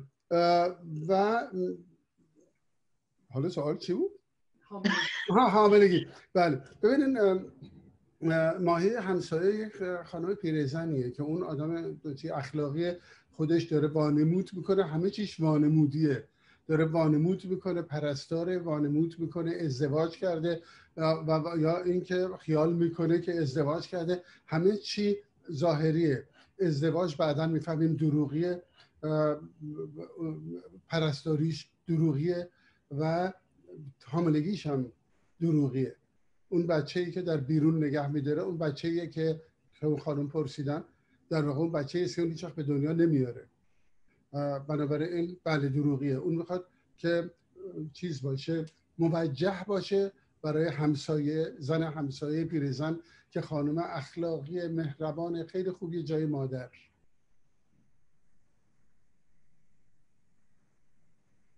بعدی لطفا. من اگه اجازه بدید یه چیز دیگه بگم. این رو استیج بودن همه ما نیست. به یک شکلی بخشی از زندگیمون رو بانمود می‌کنیم. یا دوگانه بودن متفاوت بودن زندگی بیرونی و زندگی داخلی و اون فرق میان ریالتی واقعیت و اون چیزی که وانمود میشه. من فکر کنم اینجوریه. من فکر می‌کنم که به هر حال اینا آرزوهاشه. اصلا وانمود نمی‌کنه. ما آرزوهامون رو چیز می‌کنیم مصبر می‌کنیم. یا برای خودمون با دلخوشی به این آرزوها ادامه میدیم. درست. در واقع اون همونجور که بلد فیلم بگیره بلد آرزوهاشو تبدیل به تصویر کنه. چیزی که به نظر من برخلاف اون چی که صحبت شد قبلا اینه که اون داره این خلاقیته. اون اون این بچه رو این رفتن درشک خریدن آغوش خریدن در واقع این زندگی رو می‌خواسته بازی کنه که نداره. زندگی رو که آرزو می‌کرده داره بازی می‌کنه. داره اون زندگی نشده اون آرزو شده ولی نشده رو داره سعی می‌کنه باهاش دلخوش باشه. زندگی نکرده رو داره بله، می‌کنه بله. بسیار عالی بسیار عالی. نفر بعدی لطفا. مرزی جون نوبت شماست. با سلام و احساس خوشبختی زیاد من واقعا این یکی از روزهای خیلی عالی زندگیمه که دارم مستقیم با شما صحبت می‌کنم آقای بیزایی خیلی ممنون.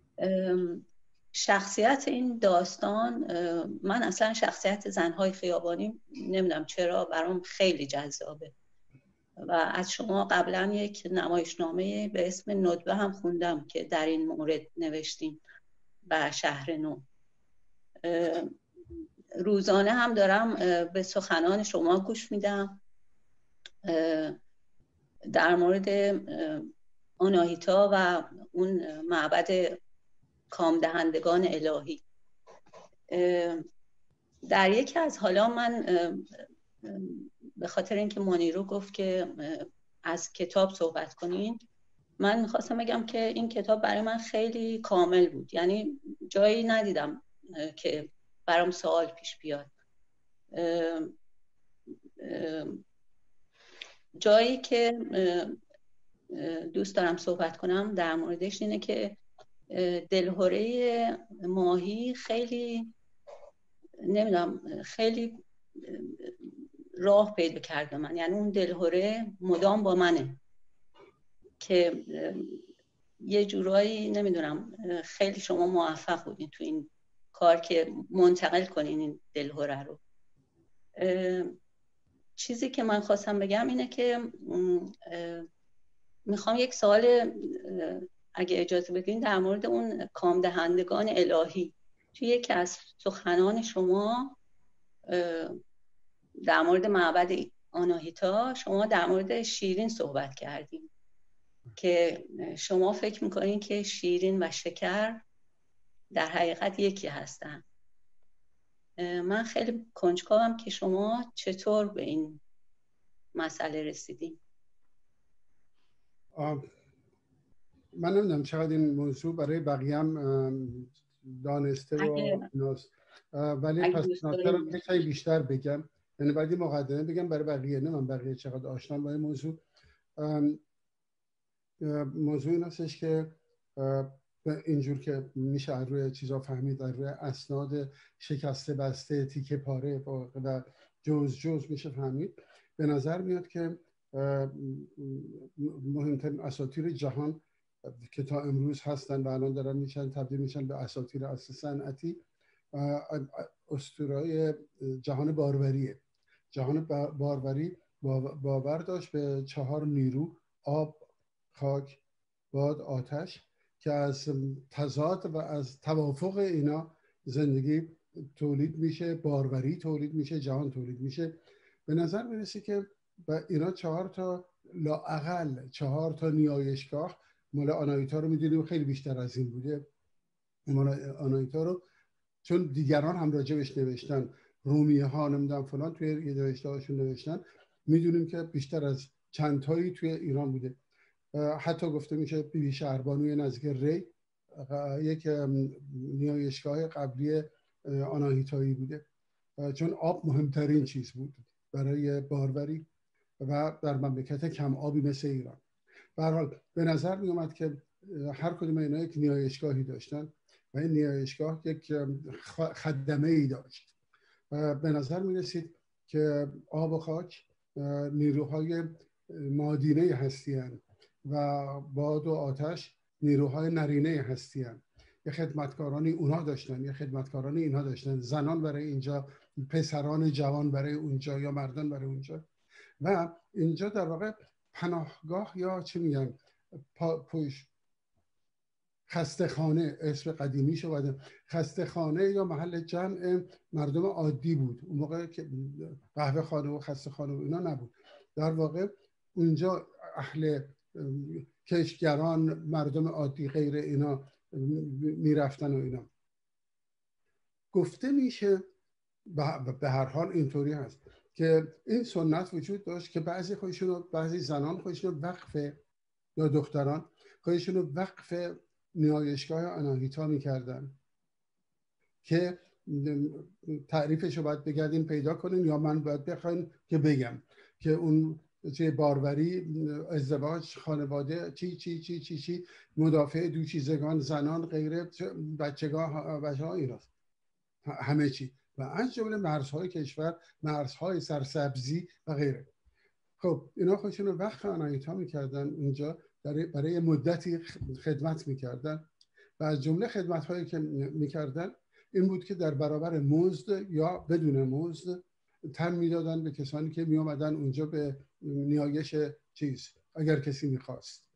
و از طریق اون پولایی که جمع می‌کردن اون جهیزیهشون بود برای چیز. این کاری که هنوز در خیلی از جهان هست. خیلی از جاهای جهان هنوز هست. ولی ما می‌دونیم که بعدا این نیایشگاه ها ویران شد. لاقل نیایشگاه آنایتا توی کنگبر باقی باقیاش مونده.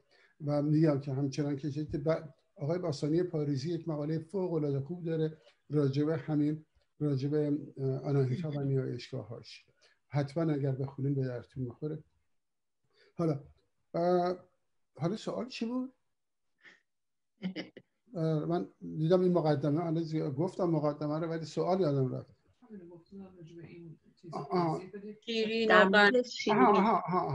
در مورد شیرین. بله توی نظامی شیرین ارمنیه و توی می‌دونین که نظامی توی چیز بود گنجه بود و گنجه اونجا یک ترکیبی بود از باورهای اسلامی و مسیحی هر دو و نیایشگاه های یعنی مساجد هم اسلامی بود و هم چیزهای مسیحی بود.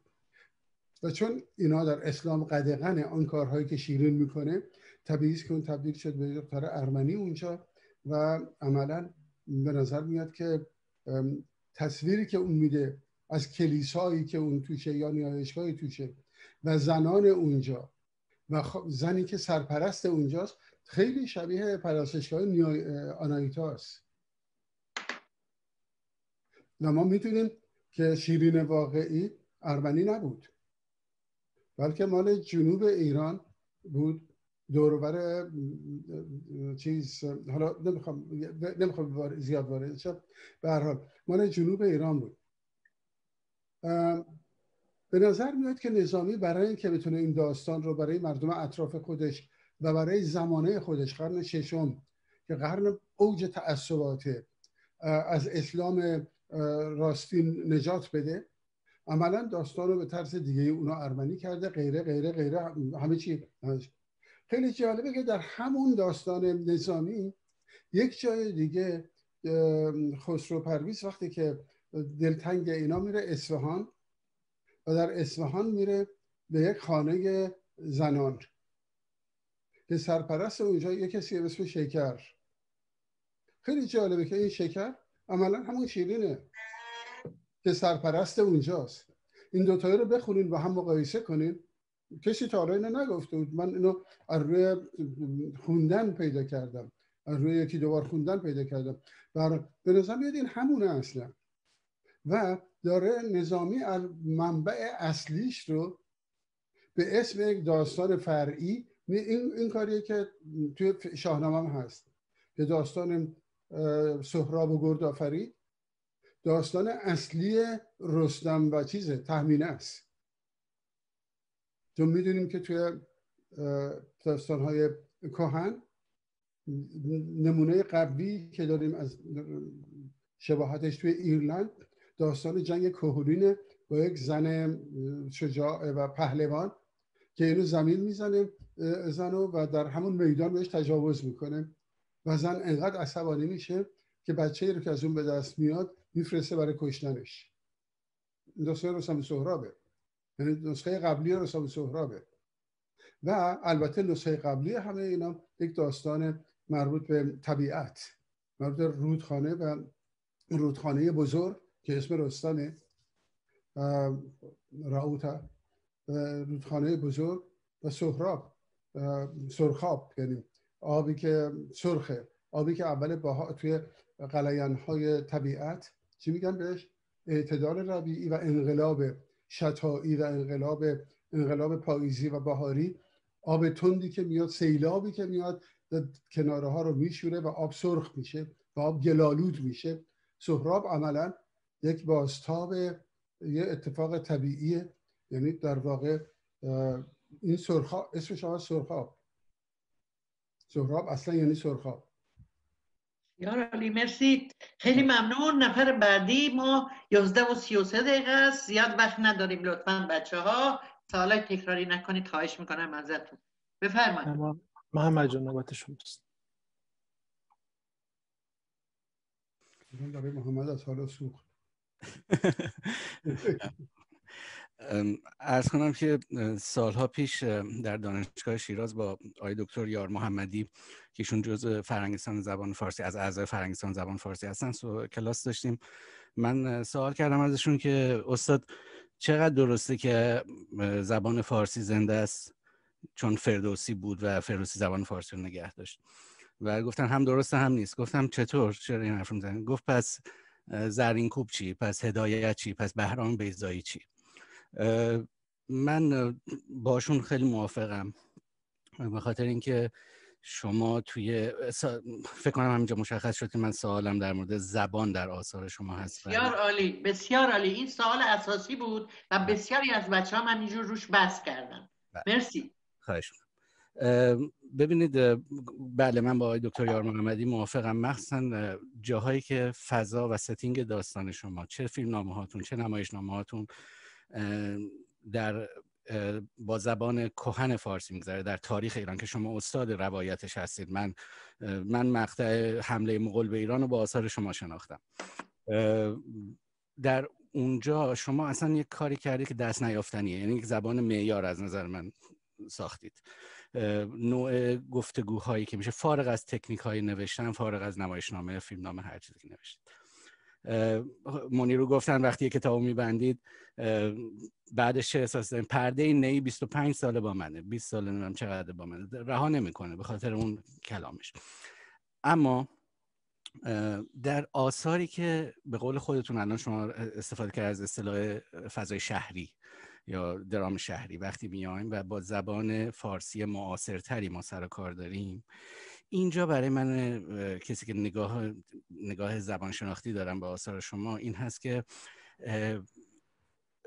زبان اینقدر فاخره خب یا نمی‌دونم چه اصطلاحی میشه برش لاتیش هم فاخره. می‌دونید چه عرض می‌کنم؟ و این اون چیزی نیست که حداقل اگر من یک میکروفون بذارم توی محاورات روزمره خیابونی بتونم اینو ضبط کنم. این این مال بهرام بیزاییه و من نمی‌تونم بپذیرم که این تعمد پشتش نباشه به خاطر اینکه حتی در مثلا در سگکشی اونجایی که شخصیت خانم شمسایی اشاره می‌کنه به اون کاراکتر بهش که من نمیفهم میگه این زبانی که تو اینجوری میگه زبانی که پدرم باش مینوشت زبانی که زبان نوشتن زبانی که من میفهممش. یعنی شما حتی از دهان کاراکترتون اینو گفتید. اما سوالی که حالا سوال من اینه که یک آیا خودتون قائل به این تفاوت یا حتی یک نمی‌دونم یک ثانی تفاوت نمی‌دونم واقعا اینجا برای من سواله. در فضاهای تاریخی و فضاهای متأخرتر آثارتون آیا قائل به این تفاوت هستید؟ و دو اینکه آیا این تعمده که شما دارید در واقع یک یک جور رندانه به معنی حافظ به معنی رنده حافظ سعی می‌کنید که زبان خودتون رو در واقع وارد آثارتون بکنید و به یک سبک خاص نوشتاری که مال شما است و امضای شما هست اون رو به جامعه منتقل کنید. چون اینکه بازم عرض کردم آثار همین ماهی رو وقتی می‌خونیم به های کلامی که بین آدم ها رد و بدل میشه حداقل فارسی خیا... کف خیابونی روزمره ای که ما میشنویم نیست و امضای بهرام بیزایی روشه. مرسی. اولا خیلی من شرمنده می‌کنین با این همه لطفی که به من دارید و آقای یار محمدی که یادشون یاد باد من هیچ وقت ندیدمشون. ولی خیلی از این لطف ممنونم. من اصلا چیز خودمو در این حد نمی‌دونم. حالا هر کنم خدمتتون که راجب زبان الان لاتی فاخر یه چیزی گفتین لاتی فاخر. من از یه خانواده میام که شعر می‌گفتن همه توش. چند چند وقت پیش یک نفری دو سال نمیشه یه آقایی به من گفتش که تو هر چی بنویسی یک جوری یه شعری تو یه جوری توش هست. من شعر نمی‌گفتم هیچ وقت ولی پدرم پدر بزرگم اموام همه تو خانواده پدری من شعر می‌گفتن. حتی عجیبه که داییمم که برادر مادرم بود او هم شعر می‌گفت. خیلی خیلی عجیبه که به حال اینقدر این گسترده است یعنی بشموری خیلی زیادن من همیشه نمی‌خواستم شعر بگم و نخواستم هم چیز کنم. ولی فکر می‌کردم بعد نصر رو چیزی که هست اینه که من کتاب های کهن فارسی یعنی نصر فارسی رو خوندم و بعضی شد اینا بعضی گذاشتم کنار. برای اینکه فکر می‌کنم اینکه زبان توی بعضی از اینا اونقدر خوبه و, زبان بعضی اینا اینقدر بده. یعنی اون اونایی که منشیانه از فضل فروشی تصنعی پر عربی فلان تمام اینا. من بدون اینکه بدونم من به قصد و تصن برای نقشه این کارو نکردم. من اون چیزی رو که فکر می‌کردم ازم میاد اومده. الان شما زبون روستایی توی کارهای من هست. زبان شهری هست و زبان تاریخی. هر کدومشون به نظر من میاد که شعر خودشون رو با خودشون میارم بدون که من خواسته باشم. یعنی هیچ کدومشون تعمد من نیست. اینا میاد. وقتی که فکر می‌کنم به چیز فکر می‌کنم وقتی فکر می‌کنم مثلا به کار به قول شما تاریخی فکر می‌کنم حتما زبون اونا باید با ما یک فاصله تاریخی داشته باشه ولی برای امروز هم قابل فهم باشه. چون زبان تاریخی واقعی اون موقع اصلا بعضی وقتا قابل فهم نیست برای امروز. انقدر که بعدها وقتی نوشته شده یا همزمان نوشته شده قامز پر عربی پر پیچیدگی و پر تعارف. یعنی تعارف های اونها رو که بزنی. اونها همه رو که بزنی تهش یه چیزی میمونه که من دارم اونو می نویسم یا من دارم سعی می‌کنم اونو نشون بدم. تو زبان شهری هم همینطوره ببینید زبان سینما و تئاتر برای یک دوره به نظر من شده بود فقط ضرب المثل های خیلی هم نفهمیده. برای اینکه کسانی هم که می نوشتنش خیلی مال اون نسلی نبودن که این ضرب المثل رو به وجود آوردن. فقط مصرف می‌کردن اینا رو در حالی که معنیش توی جامعه کم کم عوض شده بود. از یه طرفی زبان ترجمه. خیلی از کسانی که می نوشتن نمایشنامه زبان ترجمه می نوشتن من که می خوندم فکر می کردم که ولی نمایشنامه هایی بود که زبونش من تکون داد مثل نوروز پیر دوست مال فکری یا حتی چیز؟ حتی مال میرزا آقا تبریزی حکومت زمان خان و به خصوص شخصیت زنش. توجه می‌کنید خب پس این امکان هست. ما این که غافلیم. بعد از انقلاب فارسی شده بود هشت کلمه. مشت محکم و شیطان بزرگ بسیار بسیار عالی. هشت کلمه این تلویزیون که میگی همه اینا رو میگو هم فقط اینا رو می‌گفتن. خب اون موقع بود که من مرگ از گردو نوشتم. خوشبختانه البته من اون موقع همشه قصدی ننوشتم. نه اینکه قصد اینکه به زبان را فلان کنم و اینا. خوشبختانه ناگهان این چرخ برگشت و صدها نفر شروع کردن حالا فارسی رو جستجو کردن. من فقط جستجو کردم همین. که ببینم ظرفیت های استفاده نشده این زبان چیست. چه در بعد تاریخی چه در بعد شهری چه در بعد زبان روستایی. مردم روستا هم مردمند و خیلی قشنگ حرف می‌زنن.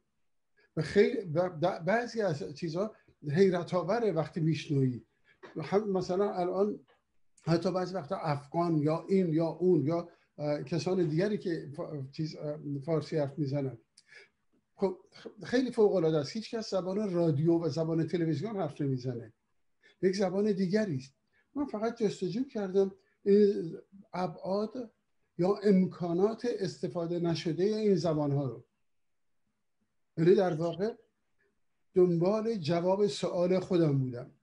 آیا من محکومم به این زبانی که فعلا به کار میره؟ این زبان محدود؟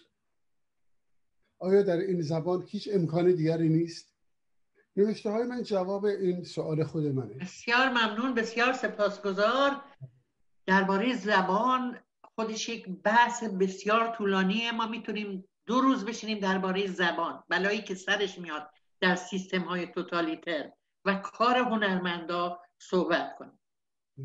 همینجا این سوال رو با اجازهتون تموم می‌کنیم. می‌تونیم بحث رو ادامه بدیم تو صفحه. این فیلم هم تو صفحه گذاشته میشه و حتما آقای بهرام بیزایی و دیگر دوستانم میان و می‌خونن اون متنا رو. اونجا می‌تونیم ادامه بدیم. ولی برای اینکه الان ما از وقت زیادی نداریم میریم سراغ سوال بعدی لطفا. مرسی. مرسی استاد. خانم یاران سوسایتی اگر تشریف دارن. سلام. ببخشید من محروخم این آه محروخ جون. بله ببخشید. با سلام به همه. بیشتر سوالای منو پرسیدن از جمله همین مسئله زبان ازش میگذرم. توی صفحه 108 کتاب وقتی که ماهی میره به خونه مادر قزنفرپور و بهش میگه که دانشجو نیست اون از فیلم می‌پرسه ازش و ماهی میگه فیلم های من مرگ فیلمه. آخر واقعی. واسه همینه شده وبال گردنم. سوال من اینه که خب توی سراسر کتاب این درد یه جور دردنامه که کاملا حس میشه. می‌خواستم ببینم که چقدر از این جمله به شما خود خودتون برمیگرده آقای بیزایی آیا واقعا هنوزم این حس هست در شما که چون نمی‌تونین خیلی چیزا رو اجرا کنین یا اینکه بیان کنین؟ نمی‌دونم. هم سوالم اینه که آیا این به شما برمیگرده؟ بذارید من اول معنی کنم حرفی که اون زده. حرفی که اون زده درسته درسته. خودش خیلی واقعیه. اون فیلم گرفته از همخوابه هاش ته واقعیته.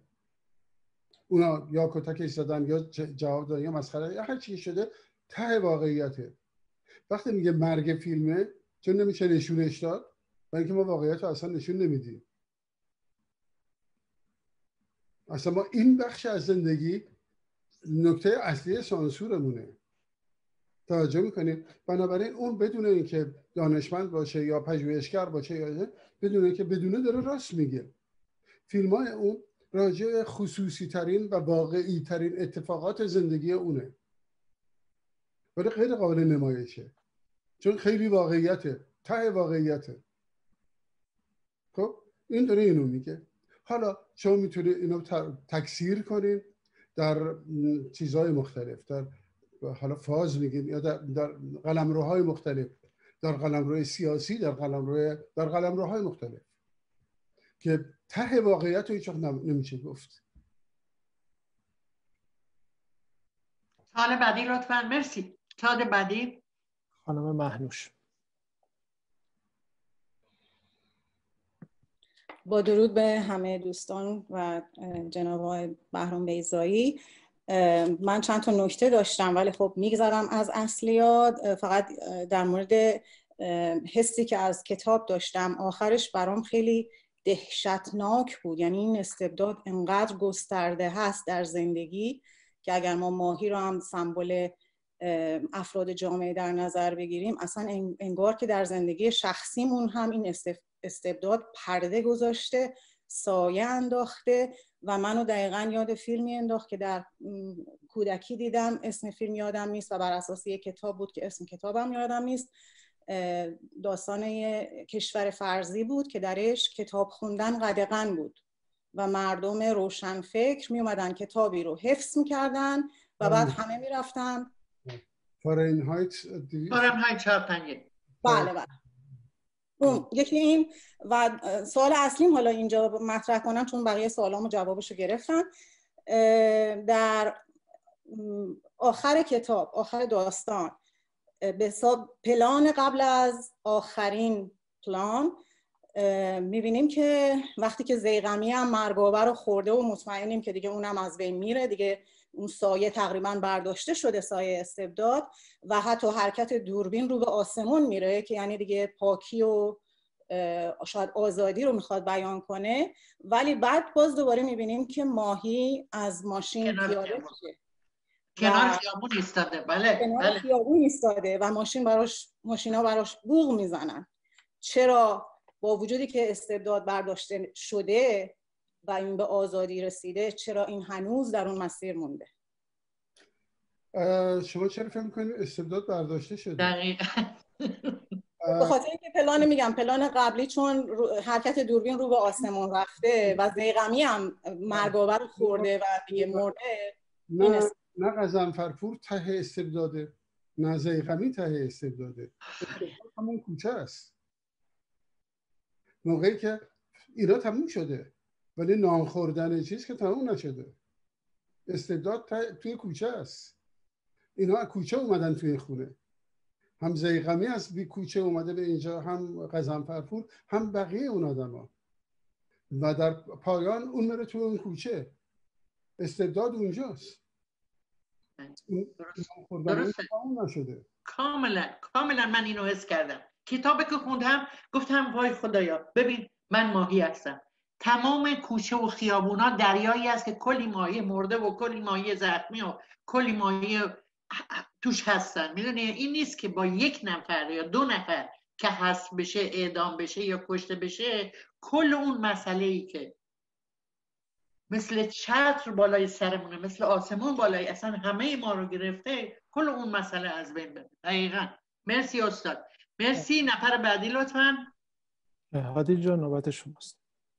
سلام عرض می‌کنم خدمت همه. من سوالم رو پاسخ دادم. یه چیز خیلی کوتاه می‌خواستم بگم. آقای دکتر شفیع کتکنی کتابی دارن به نام رستاخیز کلمات و برای من تعریف ادبیات نوشتاری هم همین تعریفه. و این کتاب به نظر من به بهترین نحو ممکن تعریف این ادبیاته. یعنی کلمات زبان آرگو زبان کوچه خیابانی حتی زبان مطربی یک جان دوباره به این کلمات روزمره و به نوعی مرده داده و از اون یک قصه برنده و یک مطلب زنده و جاندار جالبی در آورده. من فقط همینو می‌خواستم بگم و تشکر کنم. مرسی از این فرصت. منم متشکرم از شما. حالی من اینو که میخوندم یه دفعه احساس کردم او نگاه احساس کردم یه باستان شناس داره زیر خاکی ها رو از زیر خاک در میاره کوزه های طلا بشخابایی که لب پریده است یعنی همه چیزهای ارزشمندی که حالا ممکنه الان ما نتونیم استفاده کنیم ولی هم زیبا هستن هم ارزشمندن هم اینکه ما میشه نگاهشون کنیم هم گاهی وقتا میشه به کارشون ببریم. من احساس کردم که بیزایی اینجا تو این کتاب مثل یه باستان شناس درباره زبان ها عمل کرده. و با هر کلمه که میخوندم تمام از هیجان و شور و شوق داد می‌زدم. برای واقعا از کلمه اعدام همینجوری که گفتن و هر روز ما از بلند میشیم خبر اعدامه. هر روز از دستگیری هر روز از سرکوب آدم ها قوانین اینا. اینا دیگه آدم خسته میشه. بعد یه چیزای تر تازه می‌بینه. حتی از زیر خاک در اومده. زیبا و شگفتانگیز. جای سپاس داره. بسیار ممنونم. بحث زبان رو قطع می‌کنیم. نفر بعدی اگر سوال جدید داره. آقای گوهرده نفر بعدی هستن سلام و همه سلام جناب بیزایی سلام خانم روانی پور من خیلی سوالام زبانیه خب نمی‌پرسم. من بهت گفتم زود به من بگو من تو رو اول بیارم خب. نه اوکی مشکلی نیست. من فقط خواستم حالا راجع به زبان سوال نمی کنم ولی یه نکته ای رو که درک من از چیز از این فیلم نامه و دوست دارم که بگم اینه که یه غریبه به اسم قزنفرپور وارد زندگی ماهی میشه و ماهی که برای ما شاید نوع زندگی کردنش و نون در آوردنش محل اعرابه و منتظریم که این غریبه کاری براش بکنه و اتفاق جدیدی براش بیفته. یه دفعه مواجه میشیم با یه چیز ترس یعنی ماهی مواجه میشه با یه چیز ترسناکتر به اسم استبداد قتل یا چیزهای دیگه. و برای همین وقتی من پایان فیلم نامه که ماهی رو همچنان در اون وضعیت زندگی قبلیش می‌بینیم. اصلا برای من چیزه یعنی من خوشحالم که اون نه اینکه خوشحالم میگم واو چه استبدادی چه اتفاق تلخناکی گذشت و اینکه هنوز تو اون زندگی قبلیشه برای من بخوام میگم یه اتفاق بزرگتر و دهشتناکتر افتاده بوده براش و داشته میافتاده که شاید به نوعی حالا نمیگیم از شهرش راحت شده ولی به حال به, یه نوعی هندلش می‌کنه. برمیگردیم به جای اول. بله. من من کلا این روند ورود آدم های غریبه که قهرمان داستان تو زندگیشون تغییر ایجاد میشه و بالپایی میشه و گذشتهشون رو ما می‌بینیم و می‌بینیم به چه علت دچار همچین اتفاقاتی شدن خب برای من همیشه جذاب بوده تو کار شما ای بیزایی. مثل حالا باشو مثل حالا خیلی کار دیگه که اسم نمیارم تکراری نشه. حالا من انشالله سوالای زبانی رو بعدا رو صفحه می‌ذارم چون من یه خربار سوال زبانی داشتم آره. خیلی ممنون شهرام جان. باشه حتما این کارو بکن. برای که برای همه ما جالبه که سوالای تو رو بشنویم. مرسی خودت داری تئاتر کار می‌کنی و این خیلی مهمه نفر بعدی لطفا. سودی حق شما نوبت شماست. سلام. من مستقیم میرم سراغ سوالام.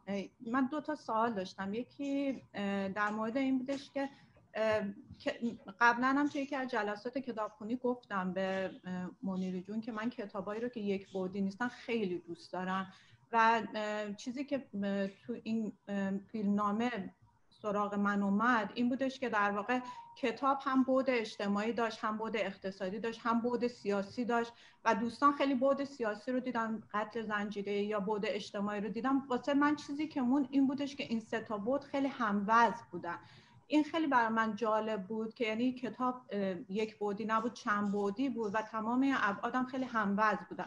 بعد بعد از کتاب من خیلی یاد یه, روش یه اصطلاحی که در واقع مثلا توی علم اقتصاد بهش میگن اقتصاد سیاسی پالیتیکال اکونومی افتادم که در واقع روشی بود تو قرن 18 می اومدن روی ها بحث می‌کردن و خیلی می‌گفتن که در واقع ارتباطی که بین معلف های سیاسی و اقتصادی هست خیلی تاثیر داره تو شکل دادن به پدیدهای اجتماعی.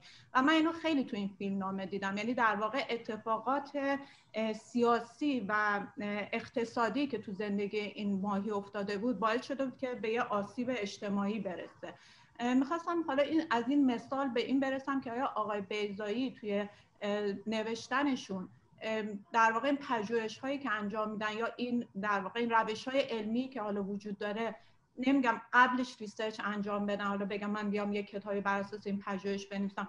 آیا حین نوشتن از این دانسته های خودشون استفاده می‌کنن یا سبک نوشتنشون کاملا تجربی و حسی هست؟ یعنی آیا مثلا مثل مثلا نویسندگان فکر می‌کنم ناتورالیست که قشنگ نوشتن پژوهشی و همه اون طرز فکرشون توی نوشتنشون تاثیر داشت آیا اینجوری می نویسن یا اینکه نه کاملا تجربه حسی می نویسن این سوال اولم بود. سال دوم می‌خواستم خیلی مستقیم برم سراغ شغل ماهی. چون من یه اصطلاحاتی تو این حرفا شنیدم که شاید یه جورایی بهم برخورده که زن خیابانی دوستان گفتن یکی گفتن یه آدم خیلی در واقع اسیر بود. چرا استبداد رهاش نکرد؟ من خودم شغل ماهی رو اصلا به عنوان شغل سیاه نمی‌بینم به عنوان شغل سفید می‌بینم به عنوان شغل خاکستری می‌بینم. در واقع یه چیزی که هم در این چیزای human right هم روش صحبت می‌کنن که میگم خیلی کم راجع به صحبت شد چون چیزای جنسی مثلا تو فرهنگ ما تابوی کم روی قضیه بحث شده تو جلسه امروز. ولی خیلی هم میگن این sex worker ها رو حتی بیام به عنوان شغل رسمی بشناسیم چه می‌دونم بیمه براشون در نظر بگیریم. می‌خواستم ببینم که یا حتی مثلا اگه بخوام جلوتر بریم خود مثلا فرود بحث می‌کنه که دولت های مثلا لیبرال یا حتی استبداد دینی دولت هایی که استبداد دینی دارن میان خیلی این میل جنسی رو تهدید می‌کنن محدود می‌کنن و خود این باعث آشفتگی در فرد میشه. باعث میشه که فرد شروع کنه هی از خودش دفاع کردن. بعد من اینو خیلی تو این شخصیت ماهی دیدم که زمانی که خاطر ازدواجش با قدم فرپور این شغل رو کنار گذاشت شروع کرد به دفاع از خودش. دیگه ماهی نبود. شروع کرد نه من فیلم, فیلم ها رو قایم می‌کرد نه من این کارو نکردم نه این کارو نکردم. این در واقع من برعکسش رو دیدم که وقتی ماهی تو این شغل بود آزاد بود و زمانی که نبود رفت تو قالبی که فرود میگه وقتی ما میل جنسی رو محدود کنیم میریم تو قالب دفاع از خودمون. می‌خوام خودمون رو طبق اون چیزی که دولت میگه تو قالب انتباق با جامعه و کنترل میل جنسی قرار بدیم. و دیگه خودمون نیستیم. می‌خواستم ببینم آقا آقای بیزایی با این حرف من موافق و وقتی این کتاب می نوشتم واقعا این دغدغه رو داشتن که این پیام رو برسونن که این شغل واقعا یه شغل سیاه نیست. نباید به عنوان زن خیابون استفاده کنیم این آدم قربانی نیست. چیزی که دوستان می‌گفتم من با مفهوم قربانی که خدا آقای بیزایی گفتم ما ایرانی ها دوست داریم قربانی باشیم و دنبال نجات دهنده باشیم. من اتفاقا احساس کنم تنها کسی که شاید کمتر تو این کتاب قربانی بود ماهی بود. شاید بقیه قربانی بودن بقیه دنبال باید یکی نجاتشون میدن می‌خواستم ببینم آیا اینم چیزی بوده که آقای بیزایی بهش فکر کردن یا فقط از این شغل استفاده کردن به عنوان شغل سیاه که بگن یه آدم آسیب دیده است و اون جامعه این آدم رو به اینجا کشونده که یه آدم کاملا بدبخت و بیچاره است. این دوتا من آخرش آخرین حرفتون رو جواب بدم. اگر من این کار آخر رو کرده بودم ما با یک فیلم فارسی کامل روبرو بودیم.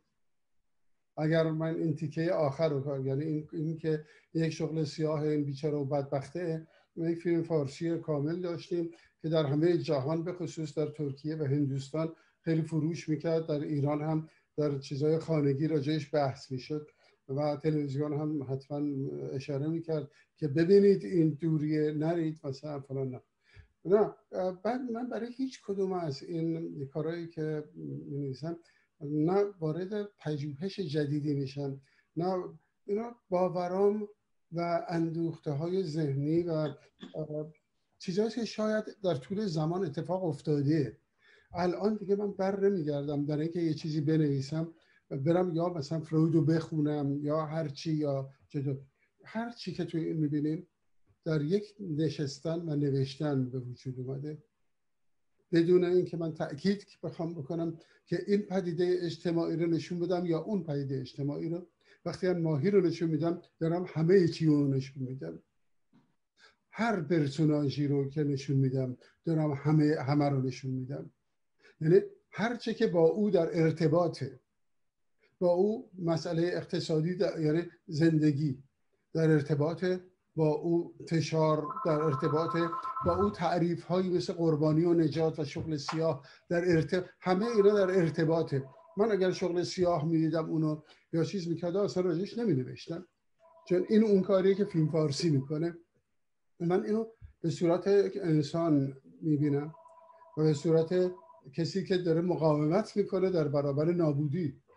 او برای که زنده باشه و برای که ادامه بقا احتیاج داره به یک شغل احتیاج داره به جایی که نونش رو در بیاره. برای اون نیست جامعه شغلی به اون نداده غیر از همین. بنابراین نداره که من دنبال این برم که بخوام این پدیده یک پدیده دیگر هست اون پدیده روانیه.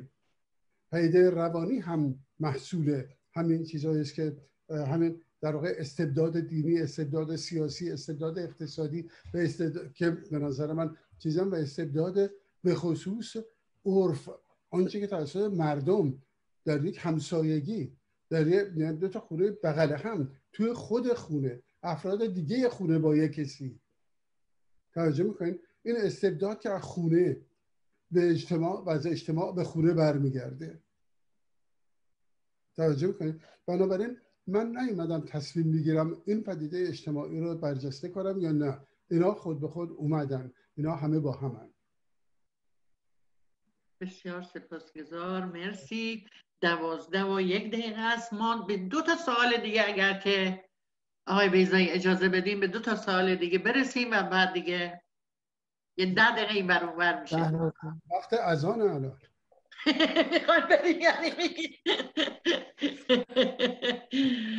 خب یه سوال بدید یه سوال جواب بدیم. این تریت آخر برنامه است. سوال منیر جان خانم شهرزاد گویا از اول می‌خواستن که سوال کنن بعد قرار شد که تو چت بنویسن این کار نشد. اگه اجازه بدید تازه واردم هستن. okay okay. شهرزاد جان بگو. مرسی. نه من فقط می‌خواستم بگم من انقدر هیجان زدم از حضور آقای بیزایی که اصلا نصف حرفا رو نمیفهم. چه برسه سوال به ذهنم برسه.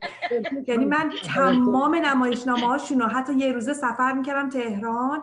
که بتونم نمایش اصلا قلبم انقدر داره می‌زنه که سوالی ندارم. بسیار خوشبختم از اینکه اینجا. اصلا نمی زبانم قاصره از گفتنش. مرسی.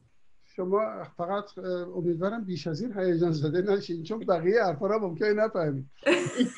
سعی می‌کنم. رکوردش هست خوبیش اینه که برم ضبط شده شو دوباره می‌تونم آره. نفر بعدی قربونت برم شهرزان جان. نفر بعدی الان برای اینجا گفت بذارین من سوال کنم. التماس دعا داره. اونم بگه اون سالشو بکنه. ما سوالامونو من خودم دو هزار تا سوال دارم. ولی یه چیزی به شما بگم. وقتی میگم کتابو ببندید سوال ایجاد می‌کنه. نه اینکه این سوال به معنی این نیست که کتاب کامل نیست.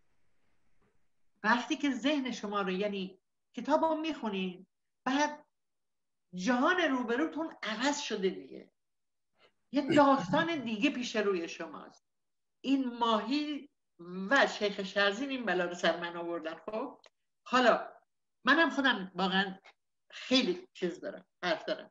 یه سال دیگه دوستمون بکنه. سوالامون رو زیر صفحه می بعد حالا یه برنامه دیگه می‌ذاریم. شاید ضبطش کنیم. من سوالا رو بپرسم صدای استاد رو ضبط کنیم یا نوش بنویسن یا هرچی ولی این کار رو حالا ببخشید من به جای شما حرف می‌زنم. حالا لطفا سوالتو بکن مامانی. کی بود؟ آقای قفاری نوبتشون آقای قفاری بگو. کجا هستن آقای قفاری منم منم. ببخشید با خانم غفاری. خب نه نه اسم اسم ولی خب از این ایمیل برای من فرستاده شده. من یه جسارت بکنم. آیه استاد فرمودن که نترسین سوال کنی من یه مقدار بدون ترس یه چیز رو مطرح کنم. من قبل از اینکه به آخره کتاب برسم انتظار داشتم که یک به یه نقطه عطفی برسم که یه برداشت روانشناختی اجتماعی به من بده.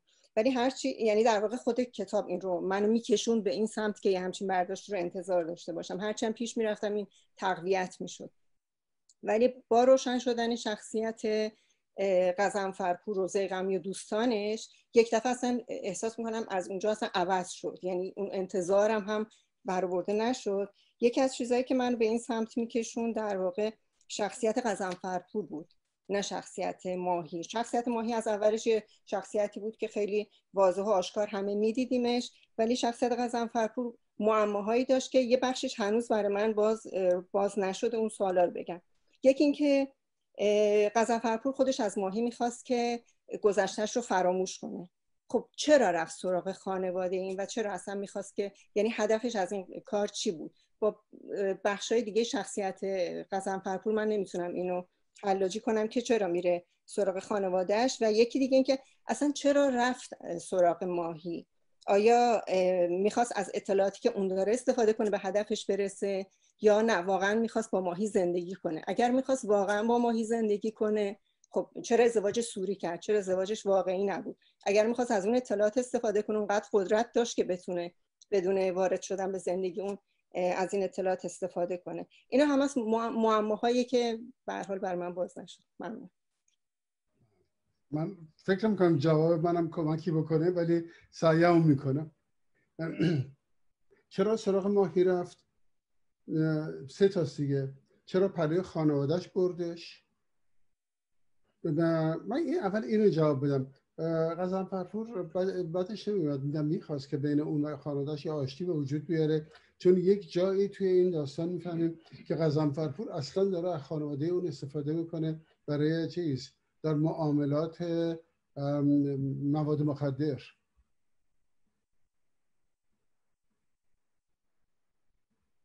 موقعی که چیز میبردش ماهی رو زیغمی توی ماچینن راجبه این صحبت میشه که اون در واقع خود اونا الان خانواده چیز هم در مواد مخدر هم و زیغمی داره با امکانات اداری که داره به اونا کمک می‌کنه که این چیز کنن اونا این, این کارا رو انجام بدن و سود یک, یک تجارتی داره با اونا انجام میده توی مواد مخدر. عملا هیچ بدش نمیاد که خود ماهی رو با اونا آشتی بده برای کمک می‌کنه شاید به این تجارت به این ارتباط کمک می‌کنه. اینو باید برگردین یه دفعه بخونیم. داره. دوباره مثلا دوباره اگه بخونی متوجه این چیزا میشی این روابط میشی. دوباره سه بار بخونی متوجه این روابط. چون این ببین نمایشنامه است. داستان که نیست که. باید تصور کنی. وقتی تصور می‌کنی و تصویر بیاد جلوه دیگه راحت تر میفهم خیلی ممنون. نفر بعدی. همین آخری استاد. جوابم جوابم تموم نشده. آها ببخشید. نکته بعد اینه که چرا ازدواج سوری می‌کنه واقعی نمی‌کنه. در ته دلش غزن فرپور مسلمان دورشه. یک یک با یک بدنام ازدواج می‌کنه ولی سوری. یعنی که هر جایی لازمه بتونه ببره. روشنه؟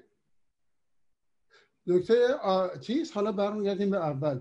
چرا رفت سراغ ماهی؟ برای اینکه فکر کرد همیشه قابل قطعه و فکر کرد اون همیشه توی چنگشه برای اون چیزهایی که به درد او می‌خوره. از جمله رابطه با خانواده پدرش که براش کار می‌کنن. حالا و حالا اون ارتباطی که قبلا یک بار با ماهی داشت و در واقع همه اینا یک جوری با هم دیگه. ولی من فکر می‌کنم شما یه دفعه دیگه اینو بخونین و تصور کنین دارین یه فیلمو می‌بینین. شاید خیلی از این چیزا بهش جوابش خودش براتون بیاد. خب سوال آخر. بچه ها ببخشید. سوال آخر رو می‌پرسیم بعد میریم. بله. فرمودن چندمین سوال آخره. این دیگه آخرینه. این آخرین سوال آخره. خیلی خوب. پرستو جون نوبت شماست. پرستو؟ سلام ممنون از این فرصتی که دادین. واقعا یه فرصت طلاییه. من خوشحالم که سوال آخر به من رسید چون سوالای در مورد کتاب و بچه ها پرسیدن تا اون جایی که جا داشت. من تو آخر یکی از مسابقه های شما یه چیزایی رو یادداشت کردم که دوست داشتم اینجا مطرح بکنم. شما توی صحبت هایی که راجع به سوالات بچه ها بود به استبداد خدایی اشاره کردیم به چند نمونه استبداد. به تعصب های نومسلمانی اشاره کردید به اوج خرافات و تعصب و به تاریخ اشاره کردید. و توی یکی از مصاحباتون که در دوران قرنطینه بود اشاره کردیم به اینکه ما یا رد می‌کنیم یا چیزی میپذیریم و یا میپرستیم. اغلب فکر نمی کنیم سند جمع نمی کنیم سندها رو با هم مقابله نمی کنیم و به نتیجه واقعی در تاریخ لحظه یا دوران نمی رسیم ما هنوز نمی‌تونیم راجع به چیزهای ساده اون زمان حرف بزنیم. با وجود که هفت قرن در ایران ایران در تصرف خلفا بوده و با اون یک استبداد خدایی که هیچ کس اجازه نداره یا به خودش اجازه نمیده که راجع به اون دوره نه حرف بزنه برای اینکه یک تفکرات بدون اینکه تفکرات ضد نژادی ضد مذهبی یا هر دلیلی که بیاریم به هر کسی ممکنه بر بخوره و اتیکت بهش چسبیده بشه. در دوران صفویه تعصب های نومسلمانی مغول و غیره و غیره و تشدید تعصب های قرن پنجم و ششم اسلامی رو داریم. در واقع اوج خرافات و تعصباتی که هیچ شخصیتی برای هیچ ایرانی باقی نمیمونه. سوال تو بکن پرستو جان سوال سوالم برمیگرده به این که ما الان راجع به هویت و شخصیت فردی داریم صحبت می‌کنیم. همون شخصیتی که شما بهش اشاره کردید که 99 کما 99 درصد به این سیستمی که الان هست رأی دادن. و یک فاصله نقد نشده در تاریخ داریم به خاطر اینکه ازش وحشت وحشت ازش هست که, که نقد بشه. آیا فکر اینو کردین که در این فاصله نقد, نقد نشده کاری بکنین؟ چون به نظر من خیلی از خیلی از مشکلاتی که ما الان داریم برمیگرده به تاریخی که نقد نشده تاریخی که هنوز کسی جرئت نداره دست بهش بزنه و تخریبش بکنه. ما تاریخی رو داریم که دوست داریم بهش بهش ببالیم بهش افتخار بکنیم. ما شاهنامه رو داریم ما کورش رو داریم داریوش رو داریم ولی از بقیه چیزا دوست نداریم حرف بزنیم. بچه اینترنت من داره قطع و بس میشه دیگه صداش در اومده. بسیار عالی. استاد جوابو بدین که دیگه شما رو بیشتر از این خسته نکنیم. خیلی بحث تو چیزی خیلی وقت می‌خواد. ولی من بله. خیلی خلاصه کنم. امیدوارم که گنگتر نکنم. موضوع رو. اولا من هیچ اسم اسلامی و مسلمانی نبردم. من گفتم دینی. استبداد دینی دینی فلان. و علت هم اینه که خدا خلفا و غیره نماینده خدا و هم تمام اینا یعنی اگر به اون چیزی بگی داری کافری. یعنی واجب القتلی قتل صحبت مرگه. صحبت نقد به خلیفه نقد به خداست. و تو واجب القتلی این یعنی که آن سانسور ابدی که حالا شکلهای دیگه من که راجع استبداد دینی صحبت کردم. چون ممکنه خیلی از اینا حالا بهتره که اسم اسلامی نبرم اسم عربی نبرم اسم قبیله ای نبرم. فعلا میگم استعداد دینی چون خیلی از جاهای جهان ممکنه که شامل همه اینا با هم بشه. حالا سوال چی بود؟ بعد شما مقدمه رو گفتیم و سوالی بود که آیا من کاری کردم؟ معلومه که کار کردین پرستو. نه نه همتتون سر این بوده که این رو گفتم یه فاصله نقد نشده ای داریم توی یکی از بله. سوال. شما چی بود؟ همون. آیا آیا کاری در آینده می‌خواین در درباره این تاریخ یا این فاصله نقد نشده؟ همینه. همه این ولی... هر چی در زندگی نوشتم دقیقا. همینه. اصلا اینه که این دوره ها رو اول ببینیم و بشناسیم. آخه با غلط هم می‌کنیم نقد کنیم. وقتی هیچی نمی‌دونیم. برای این نقل باید یه کمی بفهمیم اول. یکی ببینیم. یه همین جرأت دیدن جرأت به گردن گرفتن چون مقداری از این قصور ماست. ما چی چی رو نقد می‌کنیم ولی هیچی دربارش نمی‌دونیم. منظورم از هیچی نمی‌دونیم. شما راجع خودتون که الان روشن فکرانی صحبت نکنید. درصد 99 ممیز 99 هیچی راجع پدرشون به اونور نمی‌دونن. شما چند نفریم و تعداد کمی هستیم که راجع کوروش می‌دونیم ارو نوشته های یونانی. توجه می‌کنید؟ و راجع و راجع, کوروش ولی مثلا حتی نمی‌دونیم که از روی منابع یهودی هم میشه فهمید. توجه می‌کنید؟ ولی نکته خیلی مهم اینه. بله ما باید نقد کنیم یعنی اول باید بفهمیم. تا خودمون نفهمیم قادر یعنی مسلح به ابزار نقد نیستیم. تمام اون که من دارم می‌کنم تا اونجایی که من توانم می‌رسه دادن یک تصویر از تاریخی روستایی شهری از یک جامعه بزرگی که اسمش ایرانه. و ایران تکثیر میشه توی افغانستان هم توی تاجیکستان هم توی گرجستان هم توی ازبکستان هم توی این بر و اون یعنی یک ایران بزرگتر فرهنگی. برای همه کاری که من دارم می‌کنم امیدوارم تا حدودی بتونم بکنم. اینه که یک تصویر بدم. از اون جایی که آقای چیز الان یه نفر از دوستان خیلی هم محبت کردم گفتم من دوره مغول رو روی نوشته های تو چیز کردم. من خیلی خوشحالم اگر چنین چیزی باشه. ولی آخه چرا؟ هیچ کس اینا رو نخونده. هیچ کس اینا رو واقعا نه هیچ کس. غیر از متخصصین خیلی کم خونده. خیلی کم می‌خونیم اصلا. از این تا... کتاب ماهی رو چند هزار نفر خریدن؟ از این چیز از این تاریخ حذر می‌کنیم. اول چون ببخشید با همه بدیش این تاریخ رو باید خوند و این تاریخ رو باید شناخت. ولی از این تاریخ حذر می‌کنیم به دلایل استبداد دینی. استبداد دینیه که میگه این تاریخ نه. تاریخ و نصف نفرت ما نسبت تاریخمون نه به خاطر تحقیقمونه به خاطر استبداد دینیه که ما رو بر حذر میداره از آنچه ایرانی است. بسیار عالی بسیار عالی. مرسی استاد. خیلی ممنون بچه ها خسته نباشین. برنامه انتخاب عکس ها انتخاب شدن. من یک کلاس جایزش هم امشب رو وبسایت رو فیسبوک هم میگم.